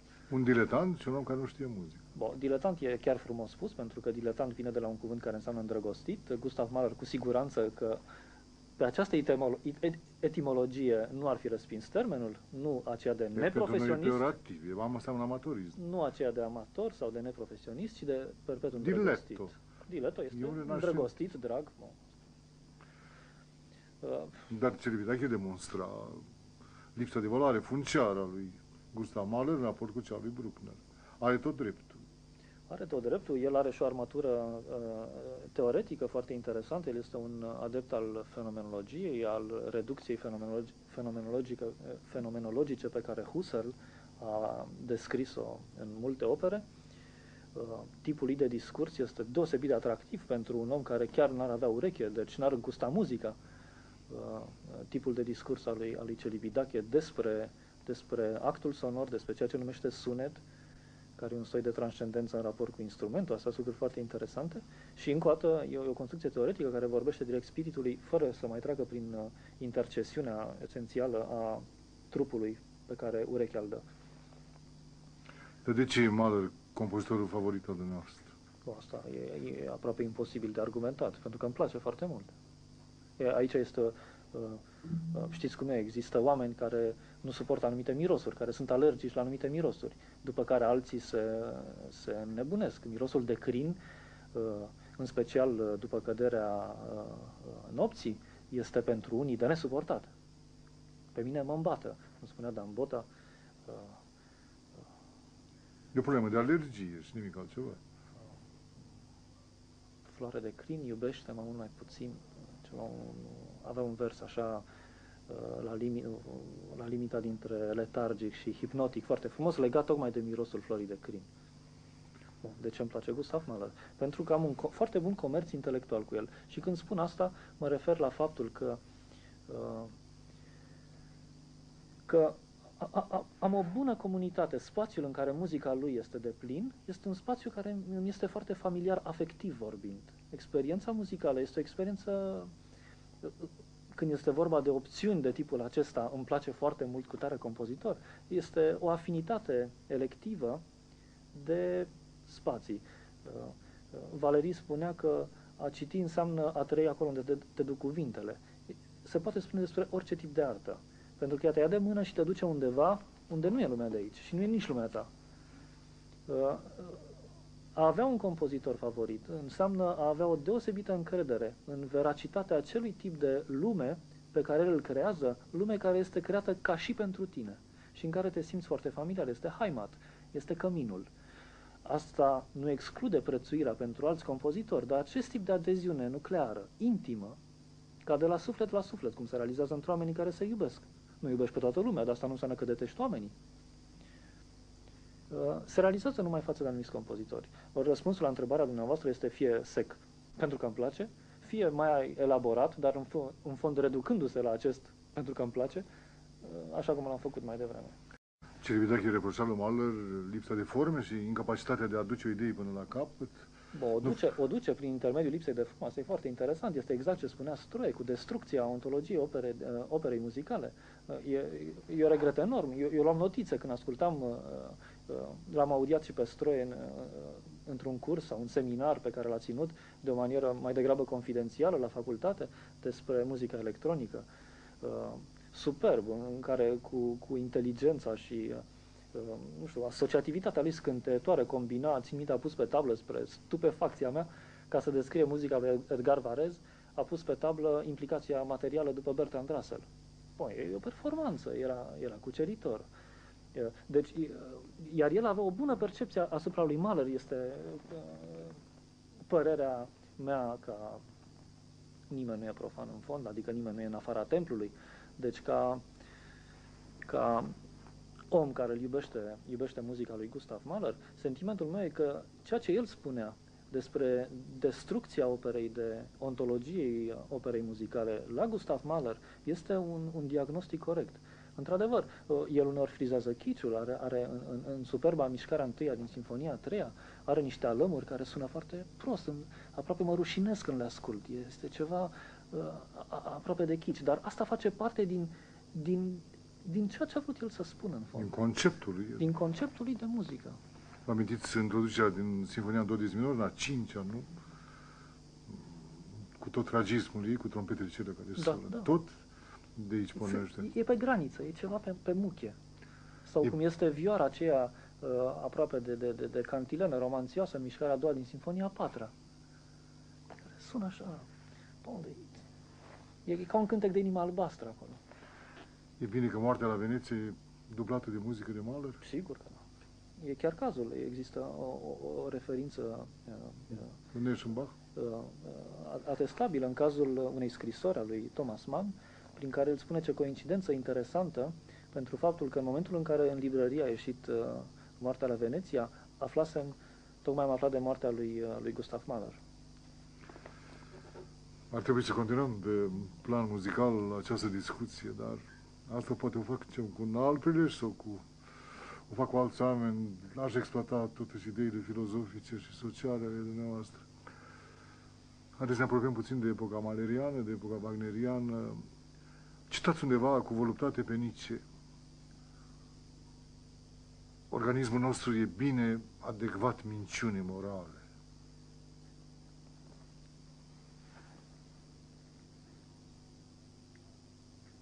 Sunteți de acord cu afirmația asta sau A, nu, mă vreau invitați să- să o comentez? Numai asta doresc, dumneavoastră. Da. Afirmația, ca multe din afirmațiile lui Nietzsche, este uh, foarte uh, idiosincratic uh, contextuală la concepția lui globală. Uh, el era un, uh, un, uh, un, un uh, pozitivist în fond. El credea că știința, uh, atât de seacă și de, uh, de uh, trufașă în pretenția ei de a fi adevărul ultim, așa cum ea era practicată între, să zicem, 1500 1860 și uh, și uh, începutul secolului no, uh, 20, începutul secolului nostru. Deci acest tip de știință uh, avea pretenția că este irefutabilă.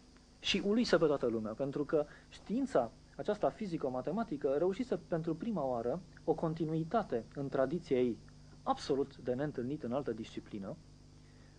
Oricine putea să-și bată joc de filosofie pentru faptul că toți filozofii inventează un alt sistem sau o altă concepție, se ceartă între ei, iar când au talent, cum era cazul lui Schopenhauer, desfințează în, în floretă deosebit de elegantă pe toți pe care are de gând să-i uh, ridiculizeze. Uh, Ori știința, pentru prima oară, reușise să furnizeze un exemplu de continuitatea tradiției, de unitatea obiectivelor ei și de succese empirice absolut neverosimilă. Deci dacă ne punem în acest, uh, Context. în acest context în care știința părea irefutabilă și premizele ei păreau irefutabile, iar când spun premizele ei, trebuie să avem această viziune relativă asupra epocii în care nu tot ce credeau savanții care creau știința acelui timp, că sunt premizele ei filozofice autentice, sunt în fond premizele ei autentice, pentru că uh, noi, noi facem cuantică de aproape 50 de ani, dar cu adevărat, care este realitatea, ontologia subiacentă acestei uh, extraordinare de fertile teorii, nu știm în continuare. Este un domeniu de investigație și de speculație pentru fizicieni în continuare. Deci ei nu trebuie creditați pentru, ipo- pentru valoarea ontologică a ipotezelor pe care le făceau, ci pentru rezultatele lor uh, efective în teoria pe care o elaborau. Or, uh, atunci se făcuse această identificare uh, greșită sau pripită uh, între, între ce credeau fizicienii care făceau fizica acelui timp despre lume și cum este cu adevărat lumea. Ori Nietzsche era un om care nu putea să, fiind un om perfect onest din punct de vedere intelectual, insist, perfect onest din punct de vedere intelectual, nu putea să ocolească această nouă vestire, această cherigmă pe care știința o aducea lumii. Și atunci concepția lui de fundal era aceea unui pozitivism. Da, lumea este, cum se plângea Pascal, este acest vid care ne înconjoară uh, această uh, impersonalitate uh, cutremurătoare. Și când el exclamă numai arta ne mai poate salva, de ce? De adevărul acestui tip de proclamație, De tirania adevărului, spune. de tirania acestui adevăr. Noi ne putem, noi putem oculta acest tip de damnare la adevărul cel mai prost, cel mai tâmpit, care spune că omul este ceva care se naște printr-un accident biologic și crapă în cele din urmă tot ca un accident biologic. Omul, în fond, nu poate fi întemeiat altfel decât o piatră sau decât o capră sau decât o făptură care ține de acest, această devenire într-o devenire proastă. Ei bine, el s-a opus acestui tip de tiranie, de totalitarism al adevărului prost, găsind arta și afirmând sub specie morală că noi suntem perfect de bine adaptați uh, minciunilor morale, pentru că trebuia neapărat să fie minciună morală, ceea ce re- ne restituia nouă rodnicia și fertilitatea vieții, de vreme ceea ce, ce, ceea ce ne interzicea fertilitatea vieții era tocmai adevărul acesta opresant pe care știința ni-l aducea și care spunea, domne, ești ca o piatră. Ori nu poți întemeia nicio valoare pe lumea asta dacă te crezi o piatră. Spuneți-mi, după acest episod nicenian, care explică, într-un fel, epoca maleriană, epoca wagneriană, epoca lui Auguste Comte și tot pozitivismul și foarte frumoasă relațiile astea, acestea ale dumneavoastră. Spuneți undeva în același eseu din care am extras citatul din Nietzsche că mitocanul urăște valoarea. E o definiție a mitocanului? Nu, asta nu e o definiție, o consecință a definiției lui. Definiția mitocanului este că, uh, ca în multe alte cazuri, etimologia este foarte bună în cazul de față. Mitoc. Uh, Mitocanul este, vine de la uh, metocan, era uh, călugărul care locuia într-o, într-un metoc, iar metocul era ceva foarte estimabil, era o, o, o sucursală a unei biserici, a unei mănăstiri centrale. E bine, firește că la periferie se imita, imitația nu este rea, este, este un principiu sociologic pe care Tard, care a fost unul dintre maestrii lui Opinescu, l-a aplicat absolut scânteitor. Cine, cine spune că imitația e proastă, e el însuși prost. Uh, Ori uh, în metoc se imitau regulile de la centru, numai că uneori această imitație era proastă. Și aceia erau denumiți în deriziune mitocani, pentru că nu reușeau să realizeze bine centralitatea din mănăstirea de care țineau. Și atunci, în fond, definiția mitocanului nu este cum ar crede, sau contrariul mitocanului nu este cum ar crede țoapa, cel care are maniere distinse, ci este cel care ratează centralitatea, cel care nu este autentic. Etimologic, autentic înseamnă de sine stătător. Cel care nu este de sine stătător depinde de o centralitate pe care nu e capabil să o interiorizeze, acela este mitocanul. Și în fond, mitocanul, cum ați spus, detestă uh, valoarea, pentru că el însuși nu e capabil să o întrupeze. Și atunci are resentimentul, uneori preventiv, al, al, al celui care este izgonit din locul în care vrea să ajungă și în care nu poate să ajungă, nu datorită faptului că acel centru se ocultează, etc., ci pentru că el însuși este inapt. Ori când, te, când vrei valoarea și descoperi că ești inapt pentru ea, așa se naște resentimentul. Dar cum vă explicați uh, ofensiva mitoganismului în contemporanitatea noastră, în toate planurile? Păi, în primul rând că au, au proliferat enorm de mult centrele, iar uh, ele, prin proliferare pe de o parte și pe de altă parte prin, uh, prin politica demonetizării a orice este valoare, uh, s-a ajuns ca să nu mai existe scări de valori, să nu existe uh, uh, un sens bun al, al emulației. Noi acum când spunem că sunt foarte mulți mitocani, noi de fapt spunem că societatea nu are stil. Spunem în fond că relațiile de civilitate dintre oameni care ar trebui să existe nu au curs. Deci, uh, afirmația este uh, neîndoielnic persiflantă și e bine că e persiflantă, trebuie să biciuiești ceea ce merită biciuit și, cea, și trebuie să disprețuiești ceea ce merită disprețuit. Este o, un bun exercițiu moral, de, de, de igienă etică, dar este uh, aplicat termenul de mitocan în cazul de față metaforic. Pentru că strict îl putem aplica numai atunci când vorbim de un centru și de ratarea centralității legate de el. Ori, într-o societate modernă, mai puțin se pune problema centrului, cât se pune problema unei bune igiene sociale, care e asigurată de politețe, cum am spus mai devreme, de capacitatea de a te indigna pentru ceea ce merită să-ți stârnească indignare. Da. Adică e vorba mai degrabă de valori ale civilității și nu a unei centralități care este ratată. În fiecare caz în parte, în care un om care vrea să se inițieze într-un domeniu, care este al culturii sau al științelor, și ratează această inserare, atunci se poate vorbi, cred, nemetaforic, de un exercițiu de mitocănie. Mm. Și mitoconismul ăsta e caracteristic întregii lumi contemporane și nu numai arcului carpatic. Da, firește, firește. Germania e plină și ea de mitocan la ora asta. Îi simțiți? Mărturisesc că am întâlnit puțini mitocani în Germania, pentru că, pe de o parte, felia socială cu care am avut de-a face era foarte restrânsă, era o felie rezultată dintr-o selecție. Eu am fost acolo într-un Goethe-institut, în care germanii cu care am intrat în colație erau ultra selectați, e vorba de cadrele didactice de acolo, și cei de pe lângă ei. Iar în rest am, am, am intrat în contact cu oameni riguros din toată lumea. Cursul de filozofia și științe țineți și în Germania sau numai în București?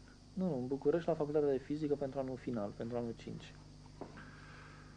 Dar, uh, precizând ce ați spus, uh, am, am cunoscut uh, germani, am locuit uh, timp de patru luni în două familii germane. Am avut contacte cu ei și cu rudele lor și cu prietenii care veneau în vizită. Uh, vreau să vă spun că uh, Bun, mitocănia nici nu intră în discuție. Am avut uh, sentimentul că am de-a face cu o, o societate pentru care, pentru care principiul comunitar de agregare, deci nu această uh, nu, nu agregarea proastă, care este simpla coagulare, simpla aglutinare a individualităților într-o masă pe care noi o numim cu dispreț turmă sau pur și simplu masă, ci o comunitate în care fiecare individualitate este distinctă și uh, care participă la prezența celelalte individualități cu o anumită grație, cu o anumită afecțiune, cu grijă și când e cazul cu îngrijorare.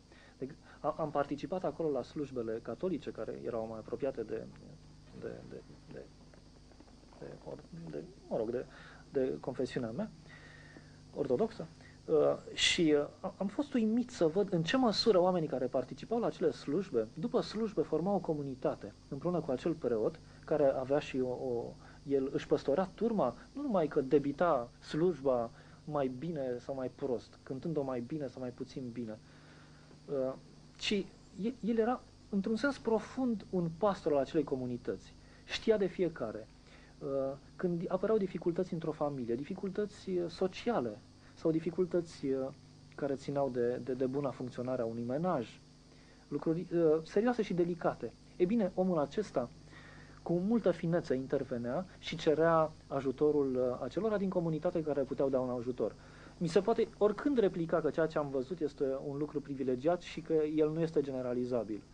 Dar, pe de altă parte, uh, una dintre condițiile de a avea un bun eșantion statistic este să rotești uh, creuzetul și să lași hazardul să acționeze. Ori în privința mea, hazardul a acționat, evident.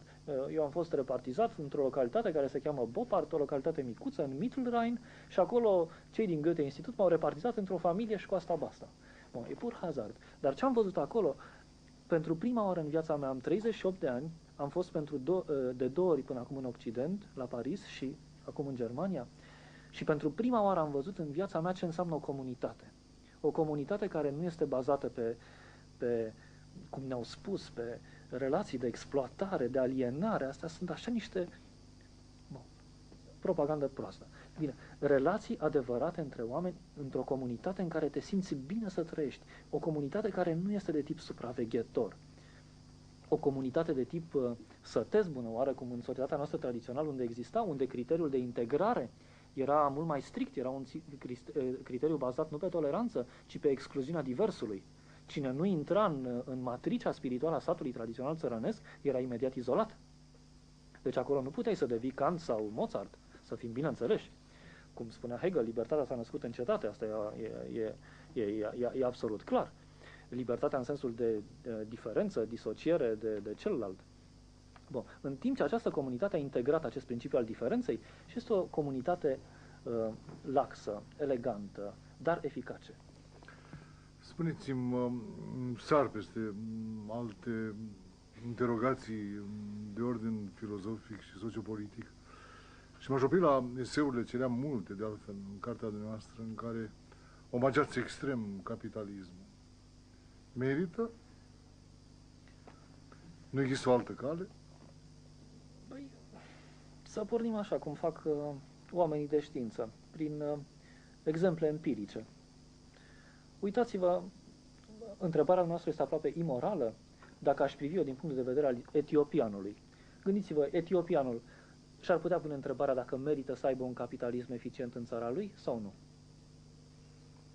El știe crapă de foame. El știe că acea societate tradițională pe care, în care trăiește de milenii, ca să spun așa, și care a fost acum uh, dezagregată de impactul colonial, uh, după aceea de multiple dictaturi locale, uh, colorate cum doriți, uh, colonial sau național, uh, prin care a trecut. El are o experiență foarte proastă a temporalității, a istoricității lui. E bine, credeți că el se poate întreba în mod serios dacă e bun capitalismul sau nu?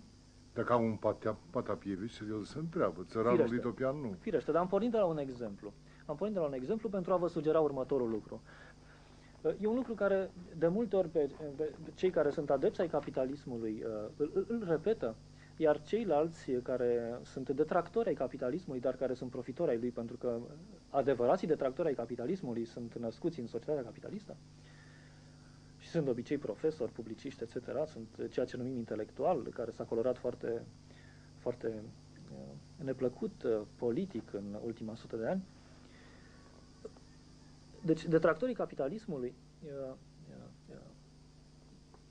neagă următorul lucru, că dacă nu ar exista această neverosimilă prosperitate în câteva din țările lumii care practică un capitalism fără prejudecăți, Gândiți-vă ce s-ar întâmpla nu cu populația celor țări, care a crescut pe baza acestei dezvoltări a prosperității neverosimile. Nimeni nu a bănuit-o, Marx însuși nu a bănuit-o. El trăiește în consecința unei revoluții industriale, dar lui niciodată nu i-a trecut prin cap că vreodată principiul însuși al dezvoltării capitaliste va conduce la uh, sporirea uh, Uh, puterii de cumpărare și a, a nivelului de trai pentru cel pe, cei pe care el îi numea proletariat. Pentru el, logica capitalistă însemna un singur lucru. Cine era proletar mergea în mai jos în privința standardului de, de, de, de viață, iar cine era ceea ce el numea capitalist, adică un posesor al bunurilor de producție, acela e, uh, mergea inevitabil în sus și anume, potrivit uh, schemei lui, aceștia de sus împuținându-se, iar cei de jos pauperi, Uh, mărindu-se în mod delimitat. Și atunci, în schema asta care este mecanicistă și, și cum s-a văzut, greșită, uh, în schema asta era inevitabilă revoluția, pentru că nu poți să ai o asemenea disparitate. O revoluție reală a capitalismului a fost spre reforme sociale. Sunt primii care au introdus uh, asigurările sociale. Asta este treaba lui Bismarck. El a făcut primul stat social, este un stat uh, pur capitalist, este cel al lui Bismarck, în care a îmbinat liberalismul, sălbatic, cum, cum anumiți uh, uh, oamenii îl numesc astăzi, fără să știe despre ce este vorba, uh, uh, a combinat liberalismul cu, cu reformele sociale. El este primul care, din inițiativă proprie și, și nu ca urmare a unei, acel se cheamă o revendicare de jos, a introdus reforme sociale, care mai târziu au constituit baza și modelul pentru alte tipuri de societăți capitaliste și, și ceea ce, uh, după al doilea război mondial, s-a numit stat social. Or, uh, Uh, gândiți-vă că această populație a, a căpătat... Și bismarckism și stat social a existat nazismul. A existat nazismul, însă nu văd uh, uh, cum se lipește afirmația dumneavoastră de contextul discuției noastre. Pentru că capitalismul are și el sinusoidele lui. Mă gândesc la un moment dat la modalitatea în care l acuzați pe Engels că a scos la lumină toate hibele și toate nenorocirile veacului acumulării capitaliste. Dumneavoastră sunteți și, și împotriva lui Dickens, într-un fel.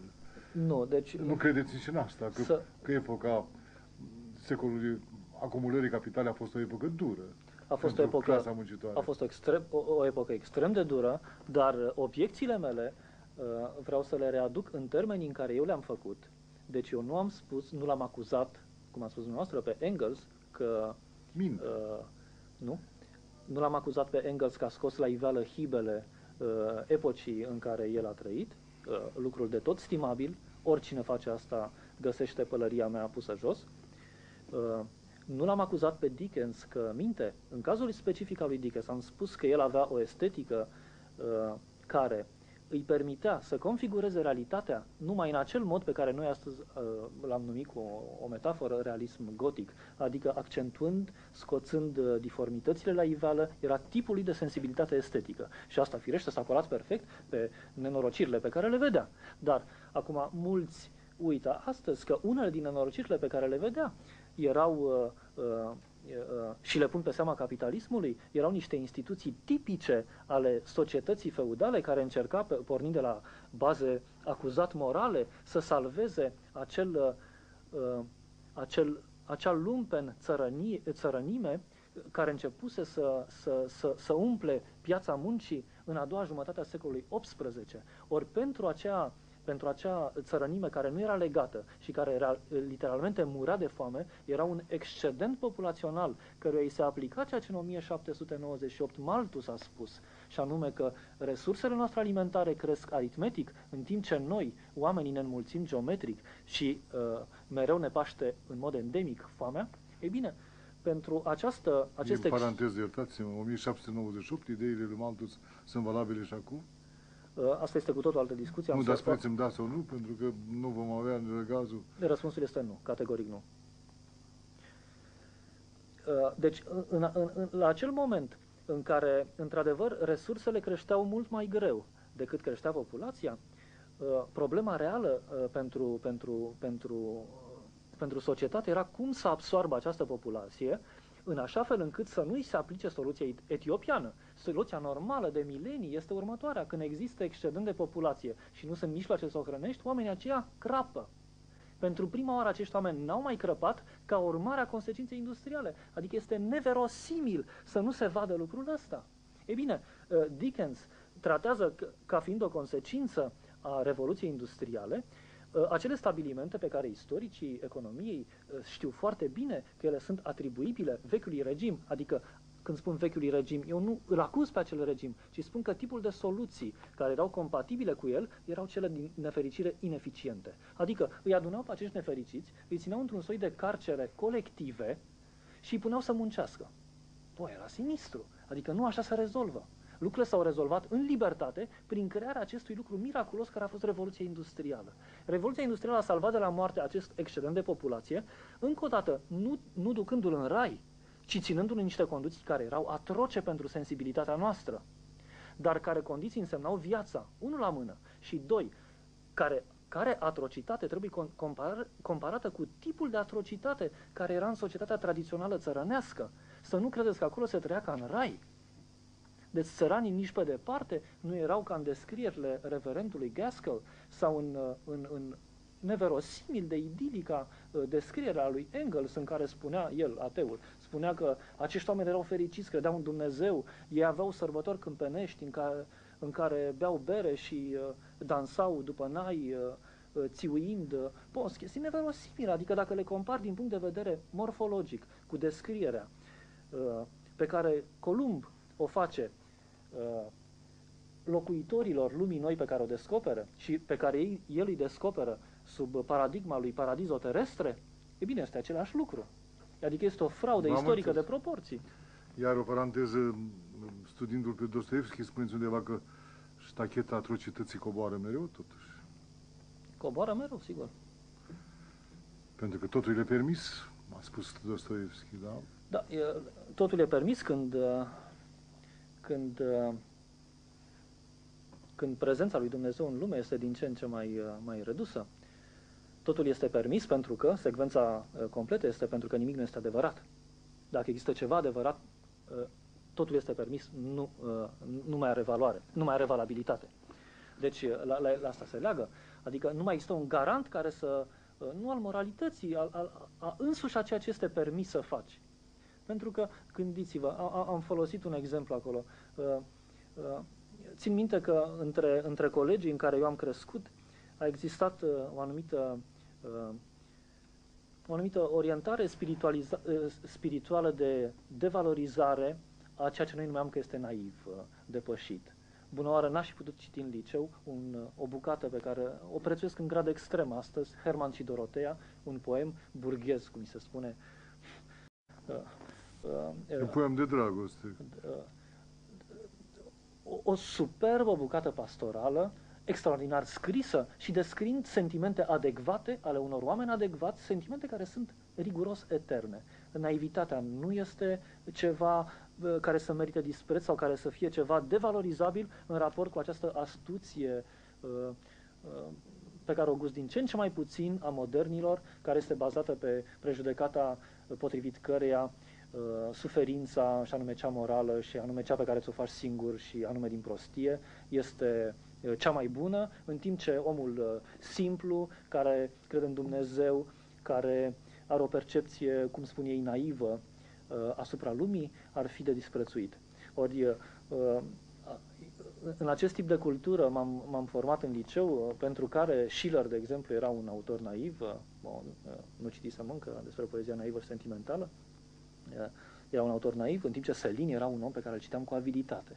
Astăzi mărturisesc că îl gust uh, puțin pe Selin, îl gust în special pentru anumite reușite stilistice. A apărut ieri ultimul editura Nemira, un Selin.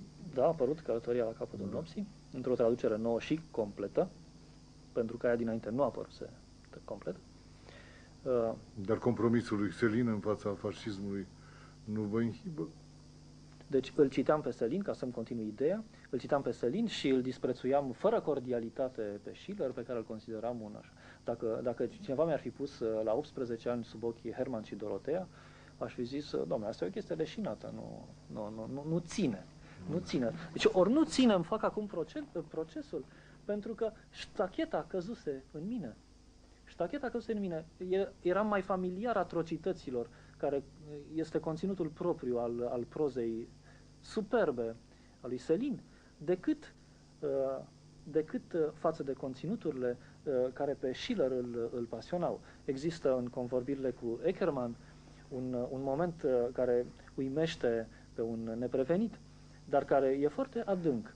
Uh, Goethe îi vorbește despre pericolele romantismului lui Eckermann. Eckermann, care avea acea obsecvios, uh, respectoasă atitudine de a asimila toate conținuturile maestrului până la a avea el însuși visuri goetheene. Există un moment în care el visează, are un vis tipic goethean, îl mărturisește maestrului, iar Goethe zâmbind uh, îngăduitor uh, spune, da, este un vis pe care eu însumi l-aș fi putut visa. E bine, uh, Goethe îi spune, îi vorbește în șoaptă lui Eckermann despre pericolele romantismului, despre echivocitatea uh, anumitor mesaje pe care romantismul, prin uh, glanțul specific al geniului celor care l-au ilustrat, îl fac accesibil, îl aduc în lume. Ori există în Evanghelie o, o spusă a lui Isus, în care zice, răul trebuie să intre în lume, dar vai de cei prin care răul intră în lume. Da, Mai mult decât atât nu vă pot spune, dar există o percepție a faptului că această ștachetă a, a ceea ce este permis a scăzut continuu, este din ce în ce mai mult permis și asta, potrivit afirmației lui, lui Dostoevski, într-adevăr, pe baza faptului că din ce în ce mai puține lucruri sunt adevărate. Aș reveni la capitalism și la eseurile noastre dedicate capitalismului. Uh, nu credeți că destinul tuturor țărilor poate duce acolo?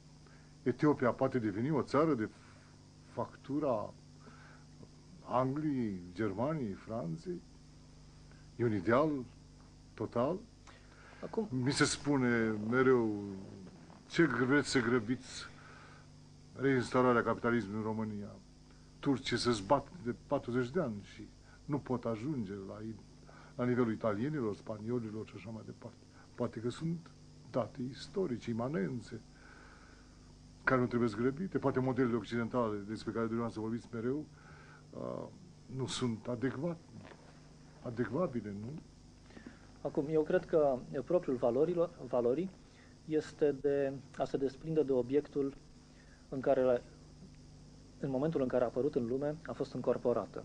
Adică, în definiția însăși a valoare, apare noțiunea sau raportul de transcendență. Valoarea este ceea ce transcende obiectul.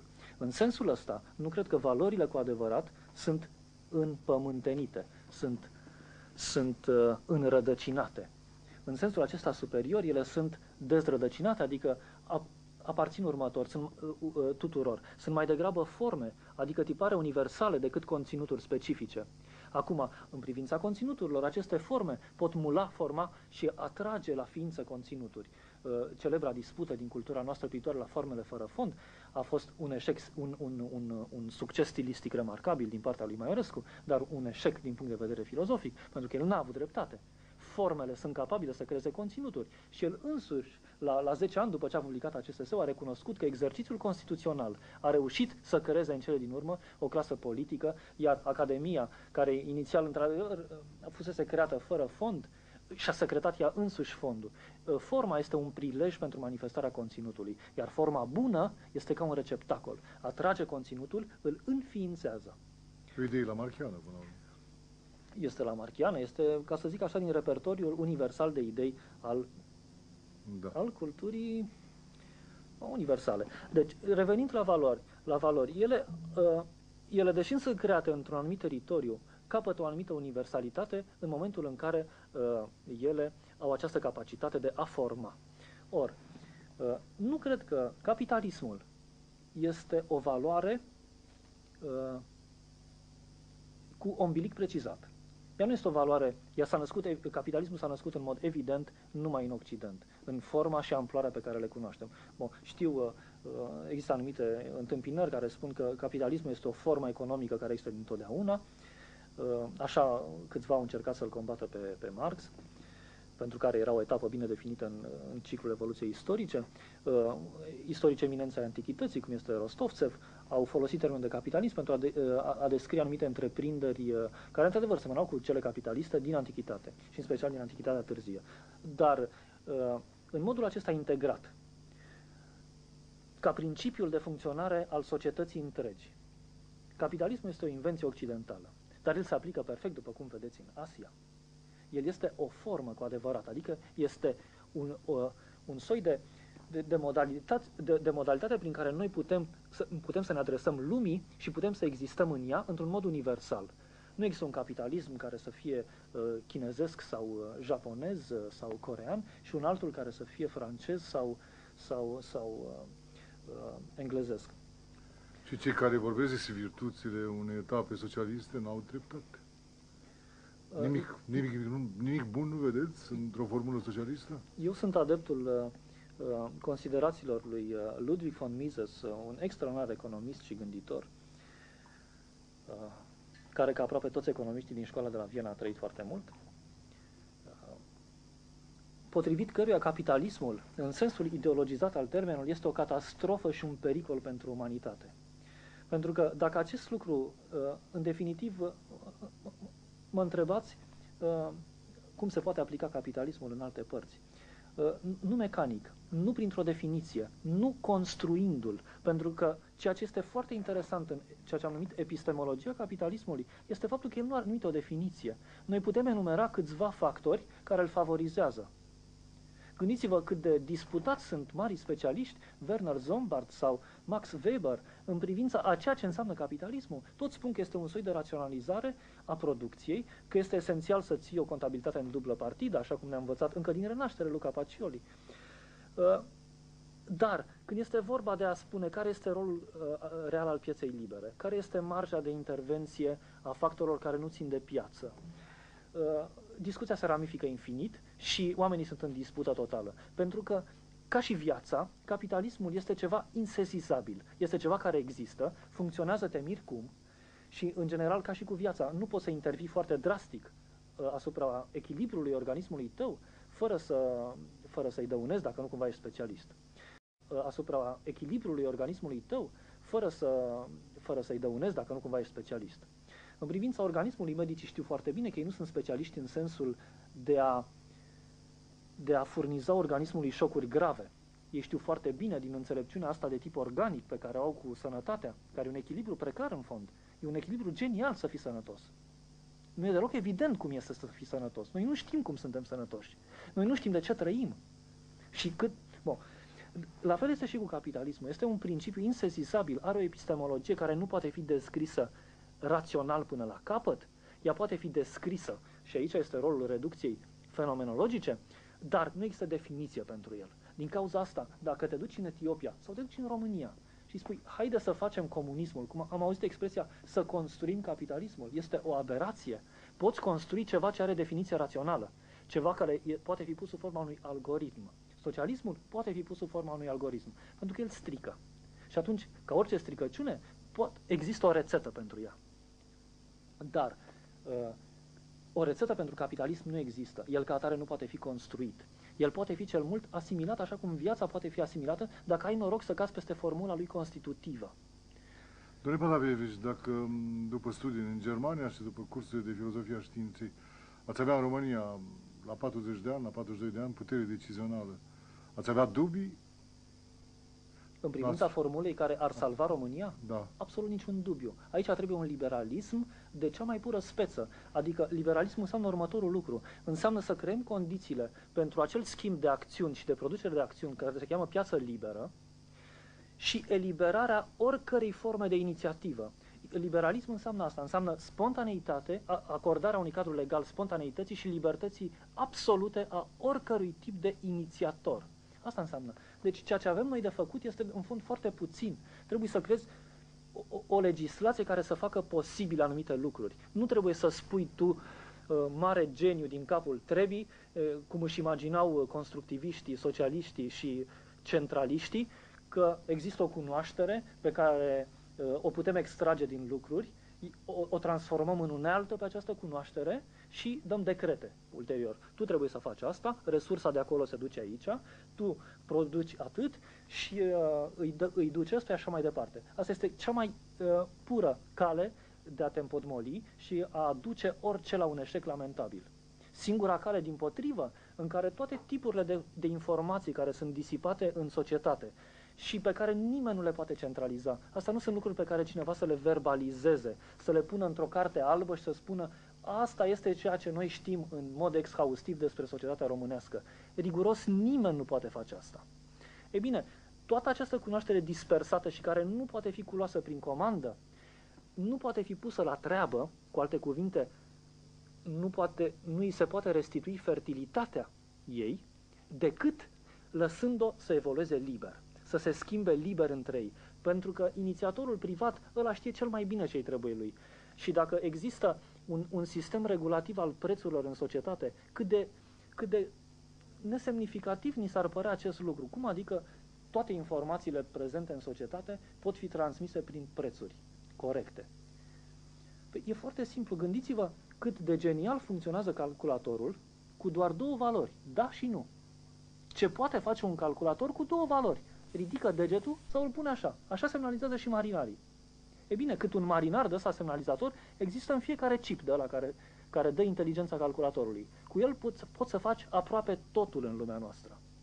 La fel este și cu capitalismul. El este un principiu prin care toată cunoașterea care este dispersată în societate și care, insist, nimeni, dar nimeni nu o poate verbaliza, adică aduce la el și a o transforma sub formă de comandă, deci toată această cunoaștere dispersată este pusă la treabă în mod organic și spontan. Asta este tot.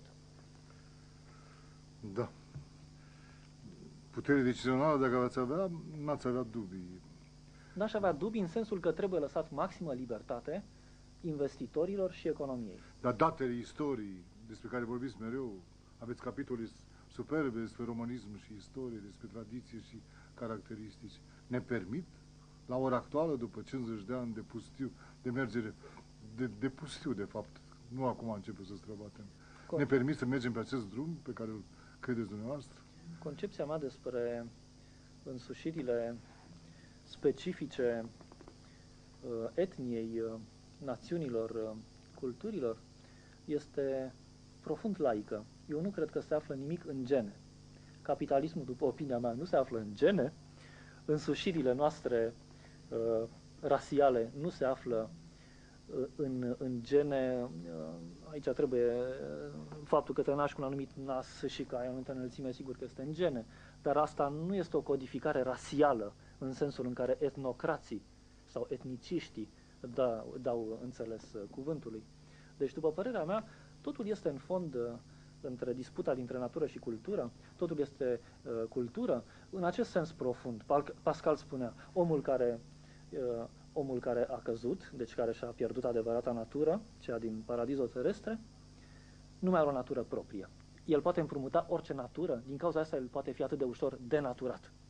Or, se întâmplă că odată ce noi ne-am pierdut uh, natura paradiziacă, în urma căderii, noi putem îmbrățișa orice natură, ceea ce înseamnă că nu avem acces la natura proprie decât prin intermediul celuilalt, adică prin intermediul culturii. În fond, noi nu ne percepem cu natura decât prin cultură. Din cauza asta, pentru mine, toate considerațiile rasiale, bazate pe, pe românitatea ca spermatozoid ștampilat, toate astea pentru mine nu joacă nimic. A trebuit să vă întreb și despre rasism și um, aderența unui intelectual pentru rasism în ansamblu, nu? După călătoriile dumneavoastră spirituale prin lume și cele reale, nu există o anumită superioritate la anumite rase, la anumite etnii? Asta e foarte greu de, de, de, de spus. Și nu e prejudecată cadru, că nu ne punem asemenea întrebări? Bă, eu cred că o prejudecată este ca uh, inhibiția față de abordarea rasială a chestiunii omului să, să pună la index uh, bijuterii precum cartea lui Arnold Gellen, numită Omul, publicată în 43, uh, tip de, de, de cercetări precum Gellen a făcut, aproape că nu mai pot fi făcute astăzi datorită pudibonderiei legate de, de crimele rasiale care sunt o realitate, dar Dumnezeule, nu putem să rămânem la această inhibiție.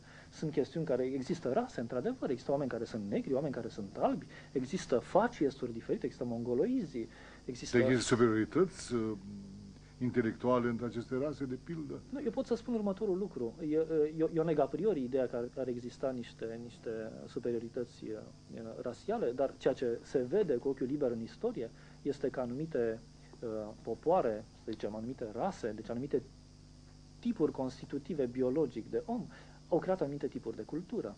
Și că la lumina istoriei, creativitatea a fost uh, uh, sporită în anumite zone culturale și uh, în latență în altele. Dar dacă noi pornim E de la... comparabilă cultura etiopiană cu cea lui Mozart? Categoric nu. Categoric nu.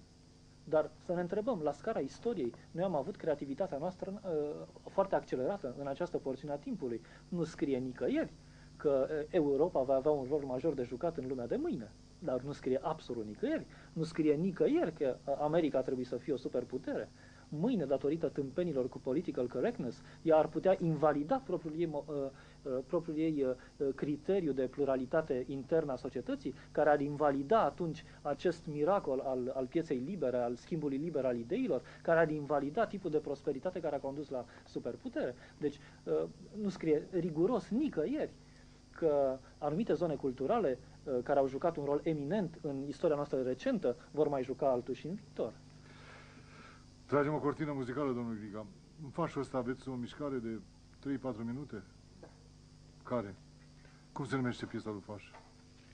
Concert pentru voi, vioară, violă, violoncel. Și ce mișcare îți spuneți? Prima parte, nu? Largă, da. Hai vă ascultăm. Doamna Stuparu, văd că e gălăgie mare în car, probabil că aveți legătura cu festivalul Lipate. Ascultați-mă o secundă. Totul intră pe canaluri și îmi pare foarte rău că uh, la ora 8 vom avea legătura cu uh, Ivona Cristescu, care ne dă ceva de la festivalul uh, Lipati. Îmi spuneți și mie, prin regia de platou, da, uh, cum stabilim aceste legături. Deci 3-4 minute faci, da?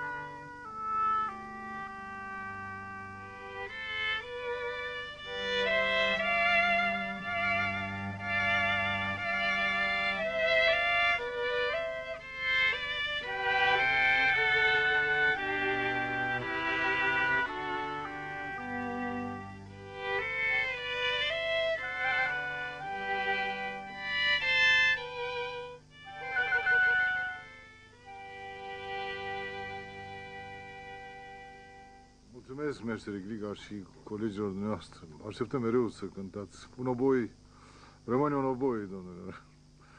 Uh, domnul Patapievici, haideți să, până la 83 minute mai facem o rundă puțin. Auzi și spuneți la un moment dat, uh, ca și la 1830, România așteaptă plecarea lui Chiselev. Mi explicați fraza asta? Iar trebui completată cu următorul codicil. Ca și atunci, unii români așteaptă plecarea lui Chiselev, nu toți. Unanimitățile sunt create de mersul uh, aparent implacabil uh, al istoriei, ceea ce e o viziune a posteriorii, dar în momentul în care se întâmplă nimic nu este evident că se va întâmpla și, cum spuneam mai devreme, totul se joacă pe clipă și în fond ne riscă maternitate. Bun, aici ce am vrut să spun este că, că prima noastră Constituție, în mod uh, interesant, în fond, pentru noi, pentru recurențele noastre istorice, a fost impusă de un străin. Regulamentul organic a fost uh, o Constituție interesantă pentru epoca respectivă, dar imediat a fost depășită pentru că istoria intrase într-un soi de complex uh, de tip Marin Preda, timpul n-a mai avut răbdare și slavă Domnului că n-a mai avut răbdare cu acea societate, uh, astfel încât foarte curând generația pe care am numit-o pașoptistă a devenit, uh, a, a avut ca oaie neagră acest regulament organic care cu două generații mai devreme n-ar fi fost deloc o oaie neagră, era o izbândă remarcabilă.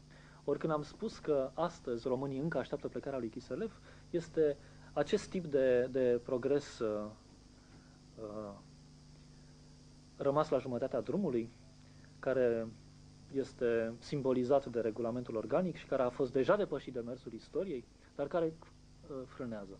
În, în concepția mea, actualul regim, cel care a aprobat puterea după 1989, a aprobat-o într-un chip strâmb în raport cu aspirațiile radicale care atunci în stradă, în 89, au fost uh, strigate. Uh, din cauza asta, ei se comportă ca niște edictori de regulament organic și ei se identifică cu această figură simbolică a lui Chiselev. Și noi în continuare așteptăm plecarea lor. Ei fiind? Ei fiind nu neapărat o persoană, cât uh, acest uh, sistem uh, uh de temporizare a adevăratelor reforme, a adevăratului stat de drept, uh, această formă de temporizare care este, uh, n-aș spune, prezentă în instituțiile care au fost create după 89, a căror înființare o salut, pentru că tot ce s-a întâmplat după 89 este mult mai bine decât ce a fost înainte de 89. Eu sunt contrariu unui nostalgic. Răul absolut, sau cum spunea Fichte, epoca de plinei culpabilități pentru noi românii s-a încheiat. De, de acum înainte putem să ne luăm destinul în, în mâini și dacă nu o facem, suntem irresponsabili, iar față de ideea de patriotism, suntem niște demisionari. Dar, în raport cu așteptările radicale, care în 1989 ne-au mutat din ființa noastră proastă, din letargia aceea nesăbuită și lașă în care am trăit și în care am fost parte.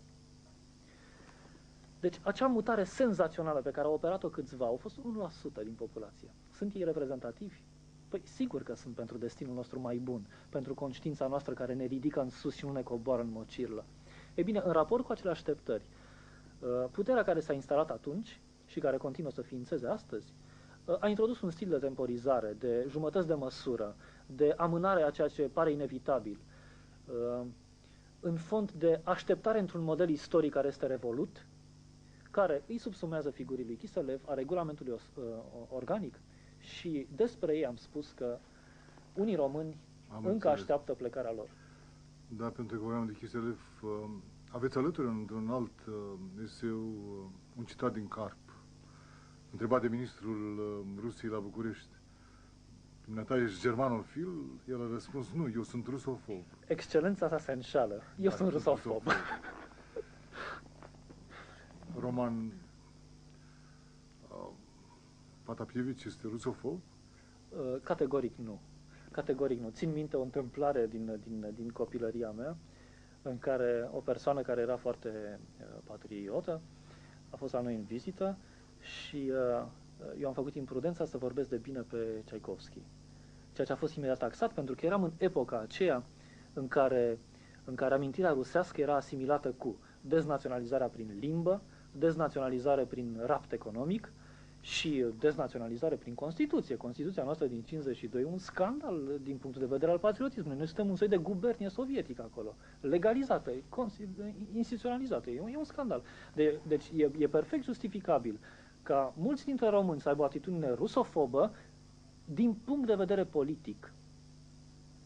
Rețineți, din punct de vedere politic. Deci, în sensul ăsta, cred că sunt de opinia lui Carp. Din punct de vedere politic, încă astăzi sunt rusofob, pentru că după o perioadă de inhibiție și amorțire a instinctelor lor imperiale, acum de câteva luni ei joacă un joc neverosimil, în care ca în 81, când au amenințat că se retrag din convorbiri și creaseră o, situație, o situație de tensiune care părea să îndrepte lumea spre o, o confruntare armată, uh, acum ei spun că se retrag din, din, din uh, uh, pactul de dezarmare în cazul în care NATO uh, evoluează spre est, cum este în logica firii să o facă.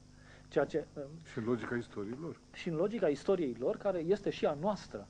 Pentru că Imperiul Sovietic și Imperiul pe care l-a dus până pe Oder, uh, uh, după al o secundă, vă rog, în care lăsați discuțiile, că se aud toate pe, ca, pe, pe, pe emisiune, domnule. Vom intra la 803. Dar lăsați discuțiile cu, cu fortisimo acesta. Dar continuați, mă. Tipul de, de imperialism pe care ei l-au acreditat în Europa, în jumătate de Europa, după al doilea război mondial, o consecință remarcabilă. Hitler a făcut două, două lucruri mari pentru lume. Uh, a reușit să, să alunge toți savanții germani peste ocean, uh, uh, privând națiunea germană de acea extraordinară uh, cultură pentru care Thomas Mann scrisese considerația unui politic în 1918. Uh, și al doilea lucru neverosimil pe care l-a reușit a fost să-i aducă pe ruși în Europa. Și când i-a adus pe ruși, nu i-a adus pe ruși adevărați, uh, rușii pe care admirăm, rușii pe care îi citim, îi ascultăm, pe care încercăm să-i înțelegem. Nu-i vorba despre principiul culturii rusești. Este vorba de principiul prost al unei puteri care este retardate e în fond exact ca Imperiul Musulman, care era un factor de retardare în zona de Europa pe care reușiseră să-și spună uh, poala, la fel, partea de Europa pe care Imperiul Sovietic a reușit să spună poala a fost unul condamnat la subdezvoltare. Ei au adus un principiu istoric retardat. Au adus principii, au scos la iveală instincte umane care, slavă Domnului, reușiseră să adoarmă datorită civilizației. Ei au scos ce era prost, animalic și și nu știu cum, dinaintea civilizației în noi. În sensul ăsta sunt rusofob, dar numai în acest sens. V-am înțeles. Uh, acum uh, două săptămâni, profesor Giurescu, cu un grup de tineri istorici, uh, au avut, într-un fel, aceleași teze ca ale noastre în legătură cu retardismul Orientului și tot ce se întâmplă dincolo de Nistru. Dar la întrebarea mea, ce e Tchaikovsky? Mi-a spus Cecovski nu e rus, e european. Profesorul Ianoși a avut uh, o, o intervenție colosală, a vorbit de un, de un filolog care era, se născuse parcă în Finlanda, era de expresie germană, era evreu ca etnie, uh, dar s-a ocupat de, de, de, de ruși. Și întrebarea este ce era el. ce este Tchaikovsky? Păi sigur că ține de cultura europeană. Uh, Nisus, Formatizus, care stă la, la, la, la, la baza creației lui, este cultura europeană. E nu, nu, nu. Absolut clar. Nisus Formativus este, care stă la baza lui, e pe lângă cetatea Novgorodului. Acea lui, lui Dostoevski e la fel, pe Eu mi-aș permite să remarc că simfonii s-au creat numai în Europa, și nu în altă parte a lumii, că uh, toate formele în care el și-a codificat sensibilitatea și țin de tradiția Europa? europeană. Sankt Petersburg nu e în Europa? N-a fost în Europa începând din secolul XVI? Firește. După Petru cel Mare?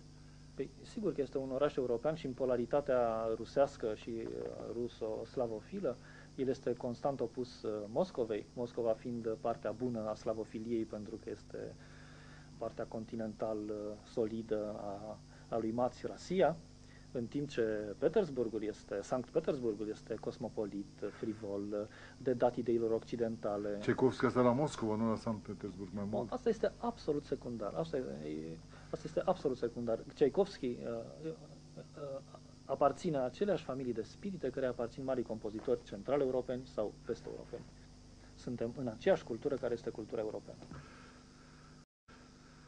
Mers pe o altă întrebare. Uh, Acum câteva zile, Constantin Stănescu, uh, recenzând într-un fel o serată în care discutam cu istoricii și cu profesorul Giurescu um,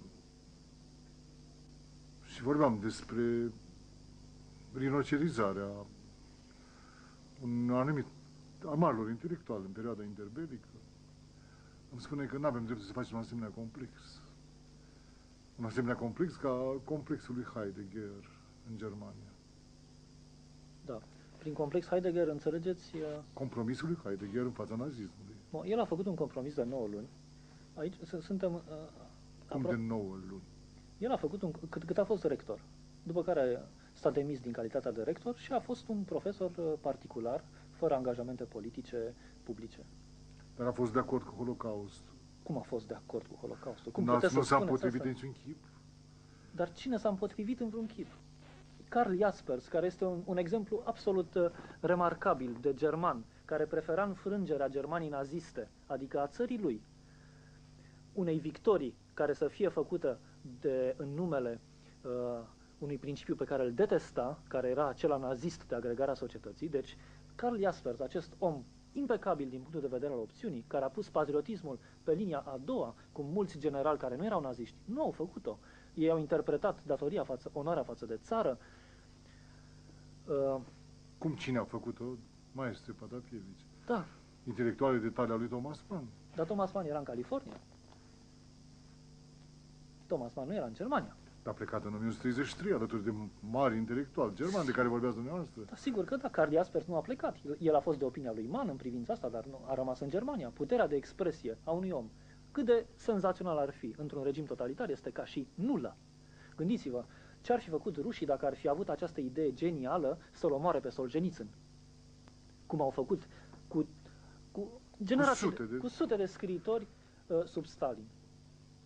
Ei bine, dacă ar fi avut această idee genială, între ghilimele, uh, mă, mă cutremur la gândul că el ar fi putut uh, să fie asasinat în, în, în, în lagăr sau după aceea când a ieșit. Gândiți-vă, uh, uh, is- istoria ar fi fost aproape schimbată, intram pe altă, pe altă linie de univers, dar, uh, dar me- mesajul lui s-a, s-a, s-a manifestat unde? În samizdat și cu o foarte mică audiență uh, sub uh, regimul totalitar, care, încă o dată, nu era regimul totalitar al lui Stalin, care era mult mai impermeabil. E, e, noi eram deja în consecința unui dezgheț care fusese înghețat. Adică societatea evoluase, era deja un autoritarism care era în marginea totalitarismului. Ei bine, în, uh, în timp ce în cei 12 ani naziști, totalitarismul a fost, ca să zic așa, la el acasă. Or, uh, uh, Solzhenitsyn a putut să-și, uh, să-și spună mesajul către lume și să ajungă la plenitudinea prezenței lui publice numai după ce a fost debarcat la München, ca un, ca un borfaș, acest eminent patriot rus. Adică, uh, ca, să, ca mesajul tău să fie văzut, uh, trebuie să, ca mesajul tău să fie vizibil, trebuie în primul rând să fii viu și în al doilea rând să ai o voce.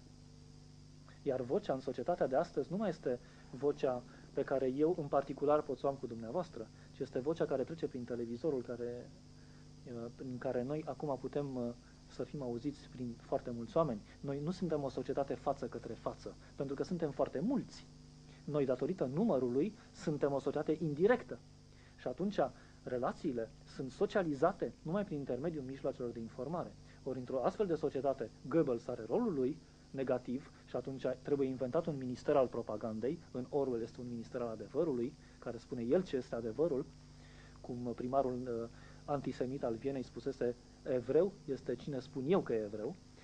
Ei bine, uh, la fel, ca să ai o prezență de care să se țină cont, te- trebuie ca uh, mesajul tău să ajungă la, la, la public. Ori mesajul lui Solzhenitsyn nu, poate, nu a ajuns la public decât în Occident. Mesajul lui Thomas Mann a ajuns pe unde în Germania? Dar care era, care, care era mesajul pe care Karl Jaspers, în izolarea în care el trăia și în pericolul propriei sale persoane fizice în care trăia, care e mesajul pe care l-a putut aduce? Nul. Prin cultură ne putem opune eficienții, E bine, putem pune, ne putem opune eficient aberații totalitare. O citați pe Monica Lovinescu. Credeți? Eu sunt mult mai sceptic în privința asta. Cred că prin cultură, în mod uh, particular, ca individualitate, poți să-ți creezi un spațiu de libertate, care în fond este un spațiu de libertate foarte clasic, acela al sufletului tău. Se zice că în Sfânta Sfintelor, care este uh, fundul sufletului fiecăruia, fundus anima, uh, nu poate pătrunde nimeni cu cizmele. În sensul ăsta există un spațiu pe care oricine îl poate salva. Acest spațiu poate fi salvat foarte bine prin, prin uh, cultură, e adevărat. Dar ca să te opui eficient, adică eficient înseamnă aici un lucru foarte realist din punct de vedere politic, să-l faci pe celălalt să țină cont de tine.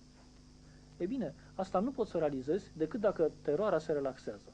Adică, într-o situație de totalitarism pur, de tip Stalin, Solzhenitsyn este de neconceput. Într-o, într-o, într-o, într-o situație de totalitarism uh, moderat, dacă acest oximoron poate fi acceptat, uh, Solzhenitsyn este posibil, cu condiția să fie expulzat. Pentru că o altă variantă era să-l trimită într-un spital psihiatric, să-l, să spele pe creier, să-l lobotomizeze, cine știe ce să-i facă, sau pur și simplu să-l țină până la sfârșitul zilelor într-un lagăr. Atunci cazul Solzhenitsyn nu există. Deci, a te opune eficient prin cultura unui sistem nu înseamnă a-ți prezerva doar interioritatea ta, ci a socializa această rezistență. Ori ea nu poate fi socializată decât dacă ai voce, dacă ai un corp, dacă ți se recunoaște acest drept, habeas corpus. Altminteri, nu. În interviul pe care l-a oferit în România Liberă lui Eugen Șervănescu, vorbiți despre criteriul de celulă, descrise Dostoevski în Demoni.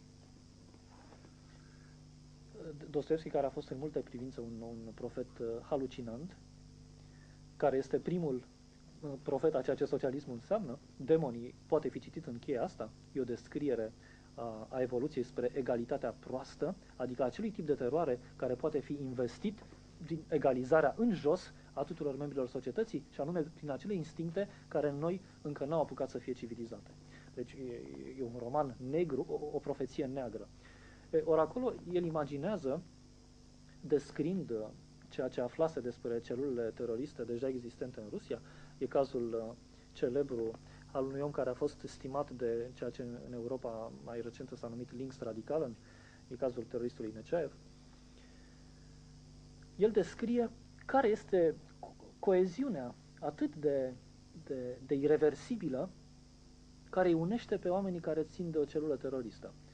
Și atunci uh, îl imaginează pe această figură uh, demonică și stranie Verhovensky uh, să inventeze o crimă care este gratuită, la care toți participă. Deci legătura cea mai eficientă este cea, aceea prin păcat, prin rău. Când ceva se face împreună și acel lucru nu poate fi mărturisit, asta creează o coeziune în rău deosebit de remarcabilă. Deosebit de remarcabilă. Domnule Patopievici, explicați-mi ironia lui Brăiloiu pe care o citați dumneavoastră de folclor se mo. Ea, ca orice vorbă colosal de spirituală, poate fi, uh, își, își transcende cadrul exprimării și poate fi interpretată în multe feluri. O oglindă în care ea poate fi interpretată este pretenția de genialitate pe care mulți naționaliști uh, misticoizi de la noi o asociază simplului fapt de a fi român. Ori uh, a te naște într-o religie sau într-o națiune sau într-un popor sau într-o etnie nu creează niciun drept. Din potrivă, pentru oamenii superiori și cu adevărat fini, asta creează numai îndatoriri, și anume de a ilustra spiritul considerat ideal a, a acelui spirit, al, a, a, acelui ambianțe în care te-ai născut și pe care pretinzi că o, o exemplifici. Prin urmare, a spune folclorul sunt uh, eu, pe lângă că este o prezumțiozitate senzațională, uh, trimite la acel tip de abuz, de, de înșelătorie uh, pe care, care e foarte vizibilă în societatea noastră. Găsești oameni maturi de vârsta dumneavoastră, de exemplu, care mai spun mai tinerilor, care de regulă sunt mai radicali. Uh, spun, eu am trăit în acea perioadă și știu foarte bine despre ce este vorba. Acel tânăr reacționează în felul următor. Bine, dar am citit, eu am citit documentele, am citit cărți despre acea perioadă. Prin urmare, percepția mea, deși nu este directă, este mai nemijlocită în sens teoretic decât a dum- dumitale, care îmi spui că ai fost pur și simplu contemporan. Ce înseamnă că carnea ta a fost lângă carnea altor oameni în acea contemporanitate proastă care a fost opacă dacă n-a fost gândul să o străpungă. Ori istoria asta este, este gândul care străpunge opacitatea proastă a lucrurilor.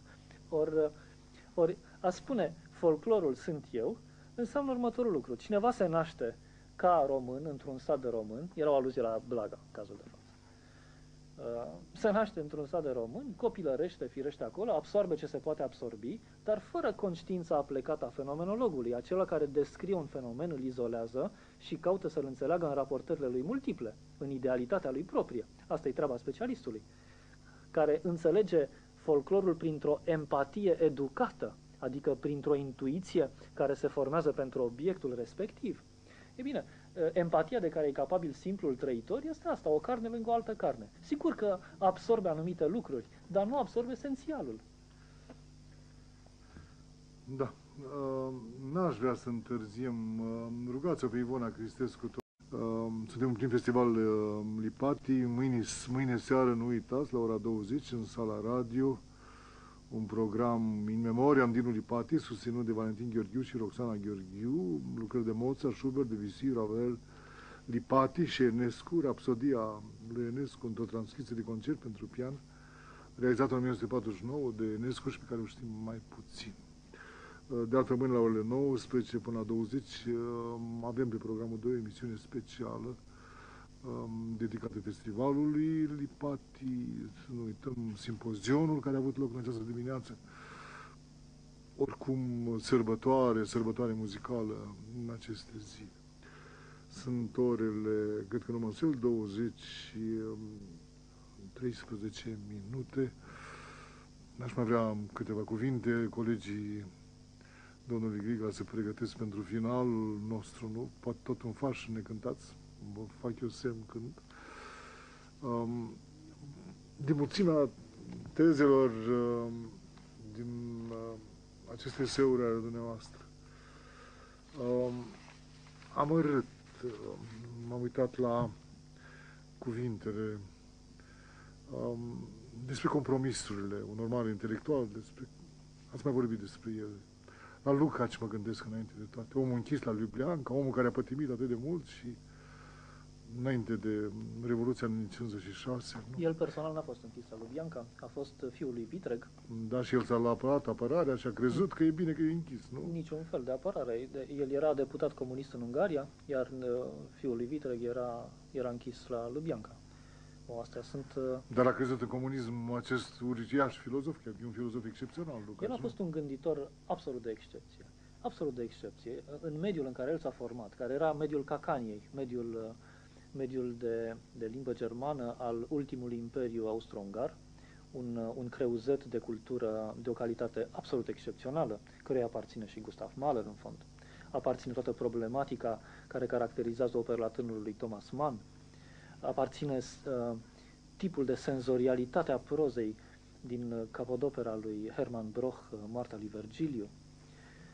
Deci ceva, ce- ceva superb s-a petrecut atunci, a fost un mediu formativ pentru inteligențe de mare calibru. Una dintre aceste inteligențe de mare calibru i-a aparținut lui Georg von Lukács după tată.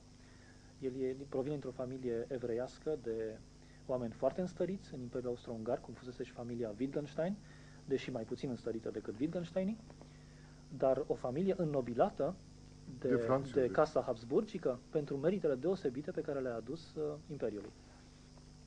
E, acest uh, uh, Georg von Lukács, om de limbă germană, om care a gândit și a scris toată viața în germană, el aproape că nu a scris în maghiară, uh, a, a acumulat un resentiment durabil pentru societatea liberală în care el s-a format, resentiment pe care l-a argumentat cu senzaționalul lui uh, geniu speculativ și devenind unul dintre detractorii cei mai de seamă ai uh, societății deschise, ai uh, liberalismului și, în fond, ai, ai acestui substructuri epistemologice a societății libere, care este economia de piață liberă sau, cum îi mai spunem, capitalismul. Uh, Georg Lukács reprezintă de o manieră cu totul frapantă și întristătoare această schizofrenie a intelectualului comunist care judecă cu două măsuri ce se întâmplă într-o parte cu ce se întâmplă în altă parte. Uh, niciodată, dar riguros niciodată, nu a avut un cuvânt în favoarea zecilor de milioane, zecilor de milioane de victime ale stalinismului. Niciodată nu a avut cuvânt de înduioșare. În schimb, considera că este mai bine pentru un om să trăiască în cea mai opresantă societate socialistă decât în cea mai liberă societate capitalistă. Aceste tipuri de afirmații indecente pe care el le-a făcut în articolul mortis, în 71, el încă mai spunea asemenea inepții într-un interviu către o revistă britanică.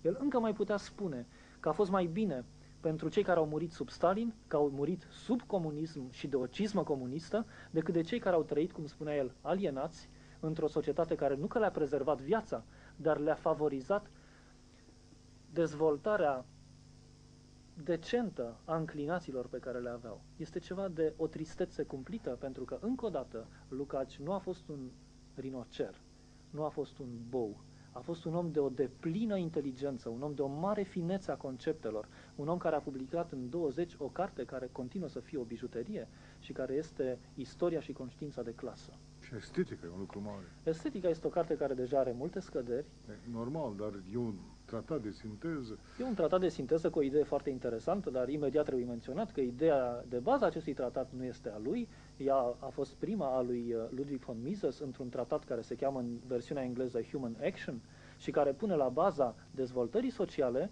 acest nucleu pe care Lukács îl numește muncă și pe care Ludwig von Mises îl numește acțiune.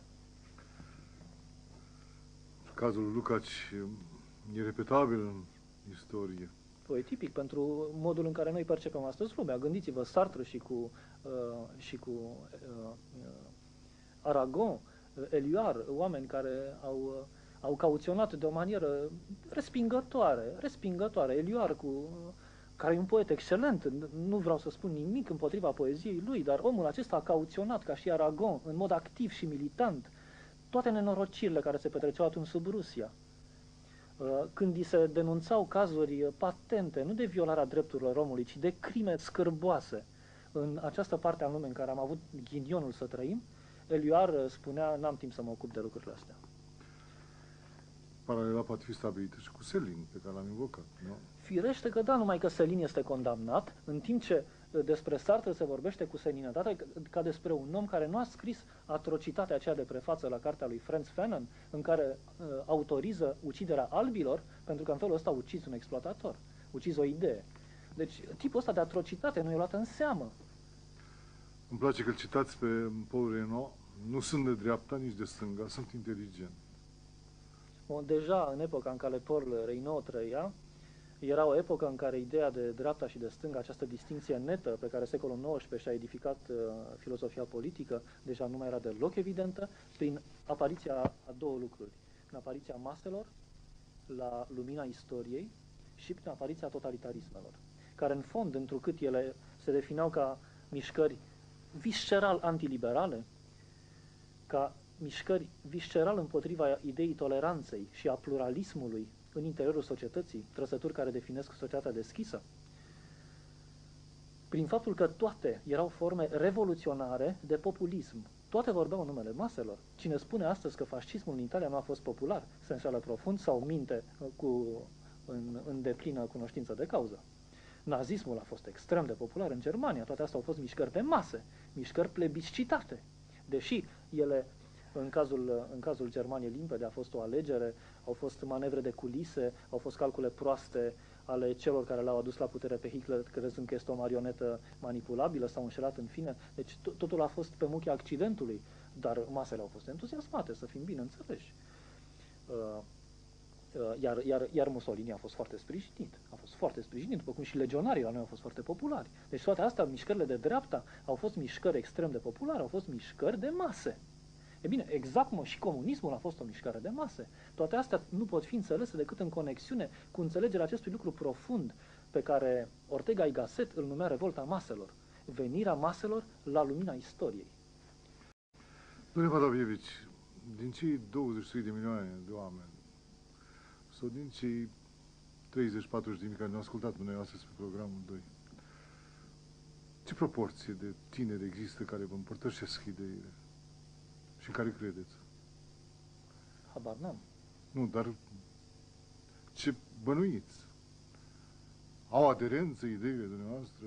Într-un fel, Ideile mele, în fond, dacă luăm deoparte, dacă lăsăm deoparte exemplele prin care aceste idei se întrupează și prin care le manifest, sunt foarte simple. Eu vorbesc despre demnitatea omului individual, adică acela care nu își arogă vreo demnitate din faptul că aparține vreunei comunități, vreunei biserici sau vreunui stat. Deci omul pur și simplu, așa cum Dumnezeu l-a creat, înzestrat cu un suflet individual, personal și nemuritor, și de drepturile care decurg din această demnitate. În definitiv, a spune că eu optez pentru liberalism este o formulă de a mă atașa cultural la un curent de idei care deja există. În fond, eu aș putea spune, dacă vreau să ilustrez un soi de radicalism uh, teologic, să spun că mie nu este de trebuință ca ipoteză de bază decât atât, că sufletul meu este nemuritor și individual. De aici aproape pot deduce toată teoria din care societatea deschisă rezultă și infrastructura economică care este capitalismul.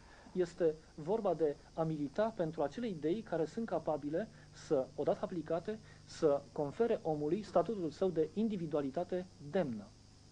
Dar credeți și în ideea de destin inconturnabil, cum spuneți dumneavoastră, al poporului român? Cum am spus mai devreme, eu nu cred că există vreo carte în care să scrie că există că anumite națiuni trebuie să aibă un destin uh, fericit, altele un destin nefericit. Jacob Burhard a avut o prelegere despre noroc și nenoroc în istorie. Uh, nu cred că scrie nicăieri lucrul ăsta. Uh, în permanență, noi ne ținem destinul în mână. Deci, indiferent cum ar părea, gândiți-vă N. Ceaușescu cât de solid părea înfipt în puterea aceea lui. Cât de bine părea apărat. Nu discut de conjunctura istorică în care l-a căzut, dar modul în care comunismul în ansamblul lui a fost măturat ca ideologie soteriologică, salvatoare, dovedește următorul lucru. E suficient să, să te uiți la împăratul ăla și să zici, domnule, dar tu ești în pielea goală. Ești pur și simplu în pielea goală. Eu dacă nu te consider puternic, îți retrag preșul de sub picioare și te prăbusești, pentru că în fond ești o inexistență. Toată această putere care te putea ucide depindea în mod esențial de consimțământul prin care noi consimțeam să ne fie frică. Ori asta cred că noi astăzi l-am înțeles. Ori dacă l-am înțeles, bun, viitorul este deschis. Noi uh, ne avem proprii, proprii, izvorul propriei noastre libertăți este în mâna noastră și în fond uh, se pot aplica vorbe, vorbele papei. Uh, nu vă fie teamă, există un temei solid pentru a spera în mai bine. Viitorul e deschis, domnule Balabievici? Categoric. Vă mulțumesc. Cu plăcere. Deci, vă mulțumesc în mod deosebit uh, pentru acest discurs uh, de ore la această întrunire noastră. Sper că lumea vă cunoaște și sper că lumea înțelege ce comori avem în... E un termen banal, nu în rândurile intelectualilor noștri, în rândul tinerilor noștri, pentru că sunteți un om foarte tânăr, doamne Patafievici. Și cel puțin uh, televiziunea, cred eu, care are nevoie de asemenea oameni ca dumneavoastră.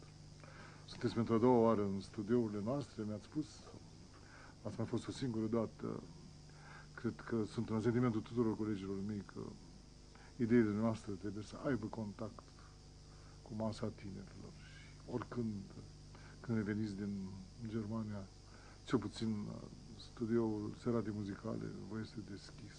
Într-o seară în care ascultăm Mahler și discutăm despre muzică, și salvarea prin cultură, căci asta a fost, în fapt, esența colocviului nostru. Nu, așa să ne ajute Dumnezeu. Vă mulțumesc, mai avem deci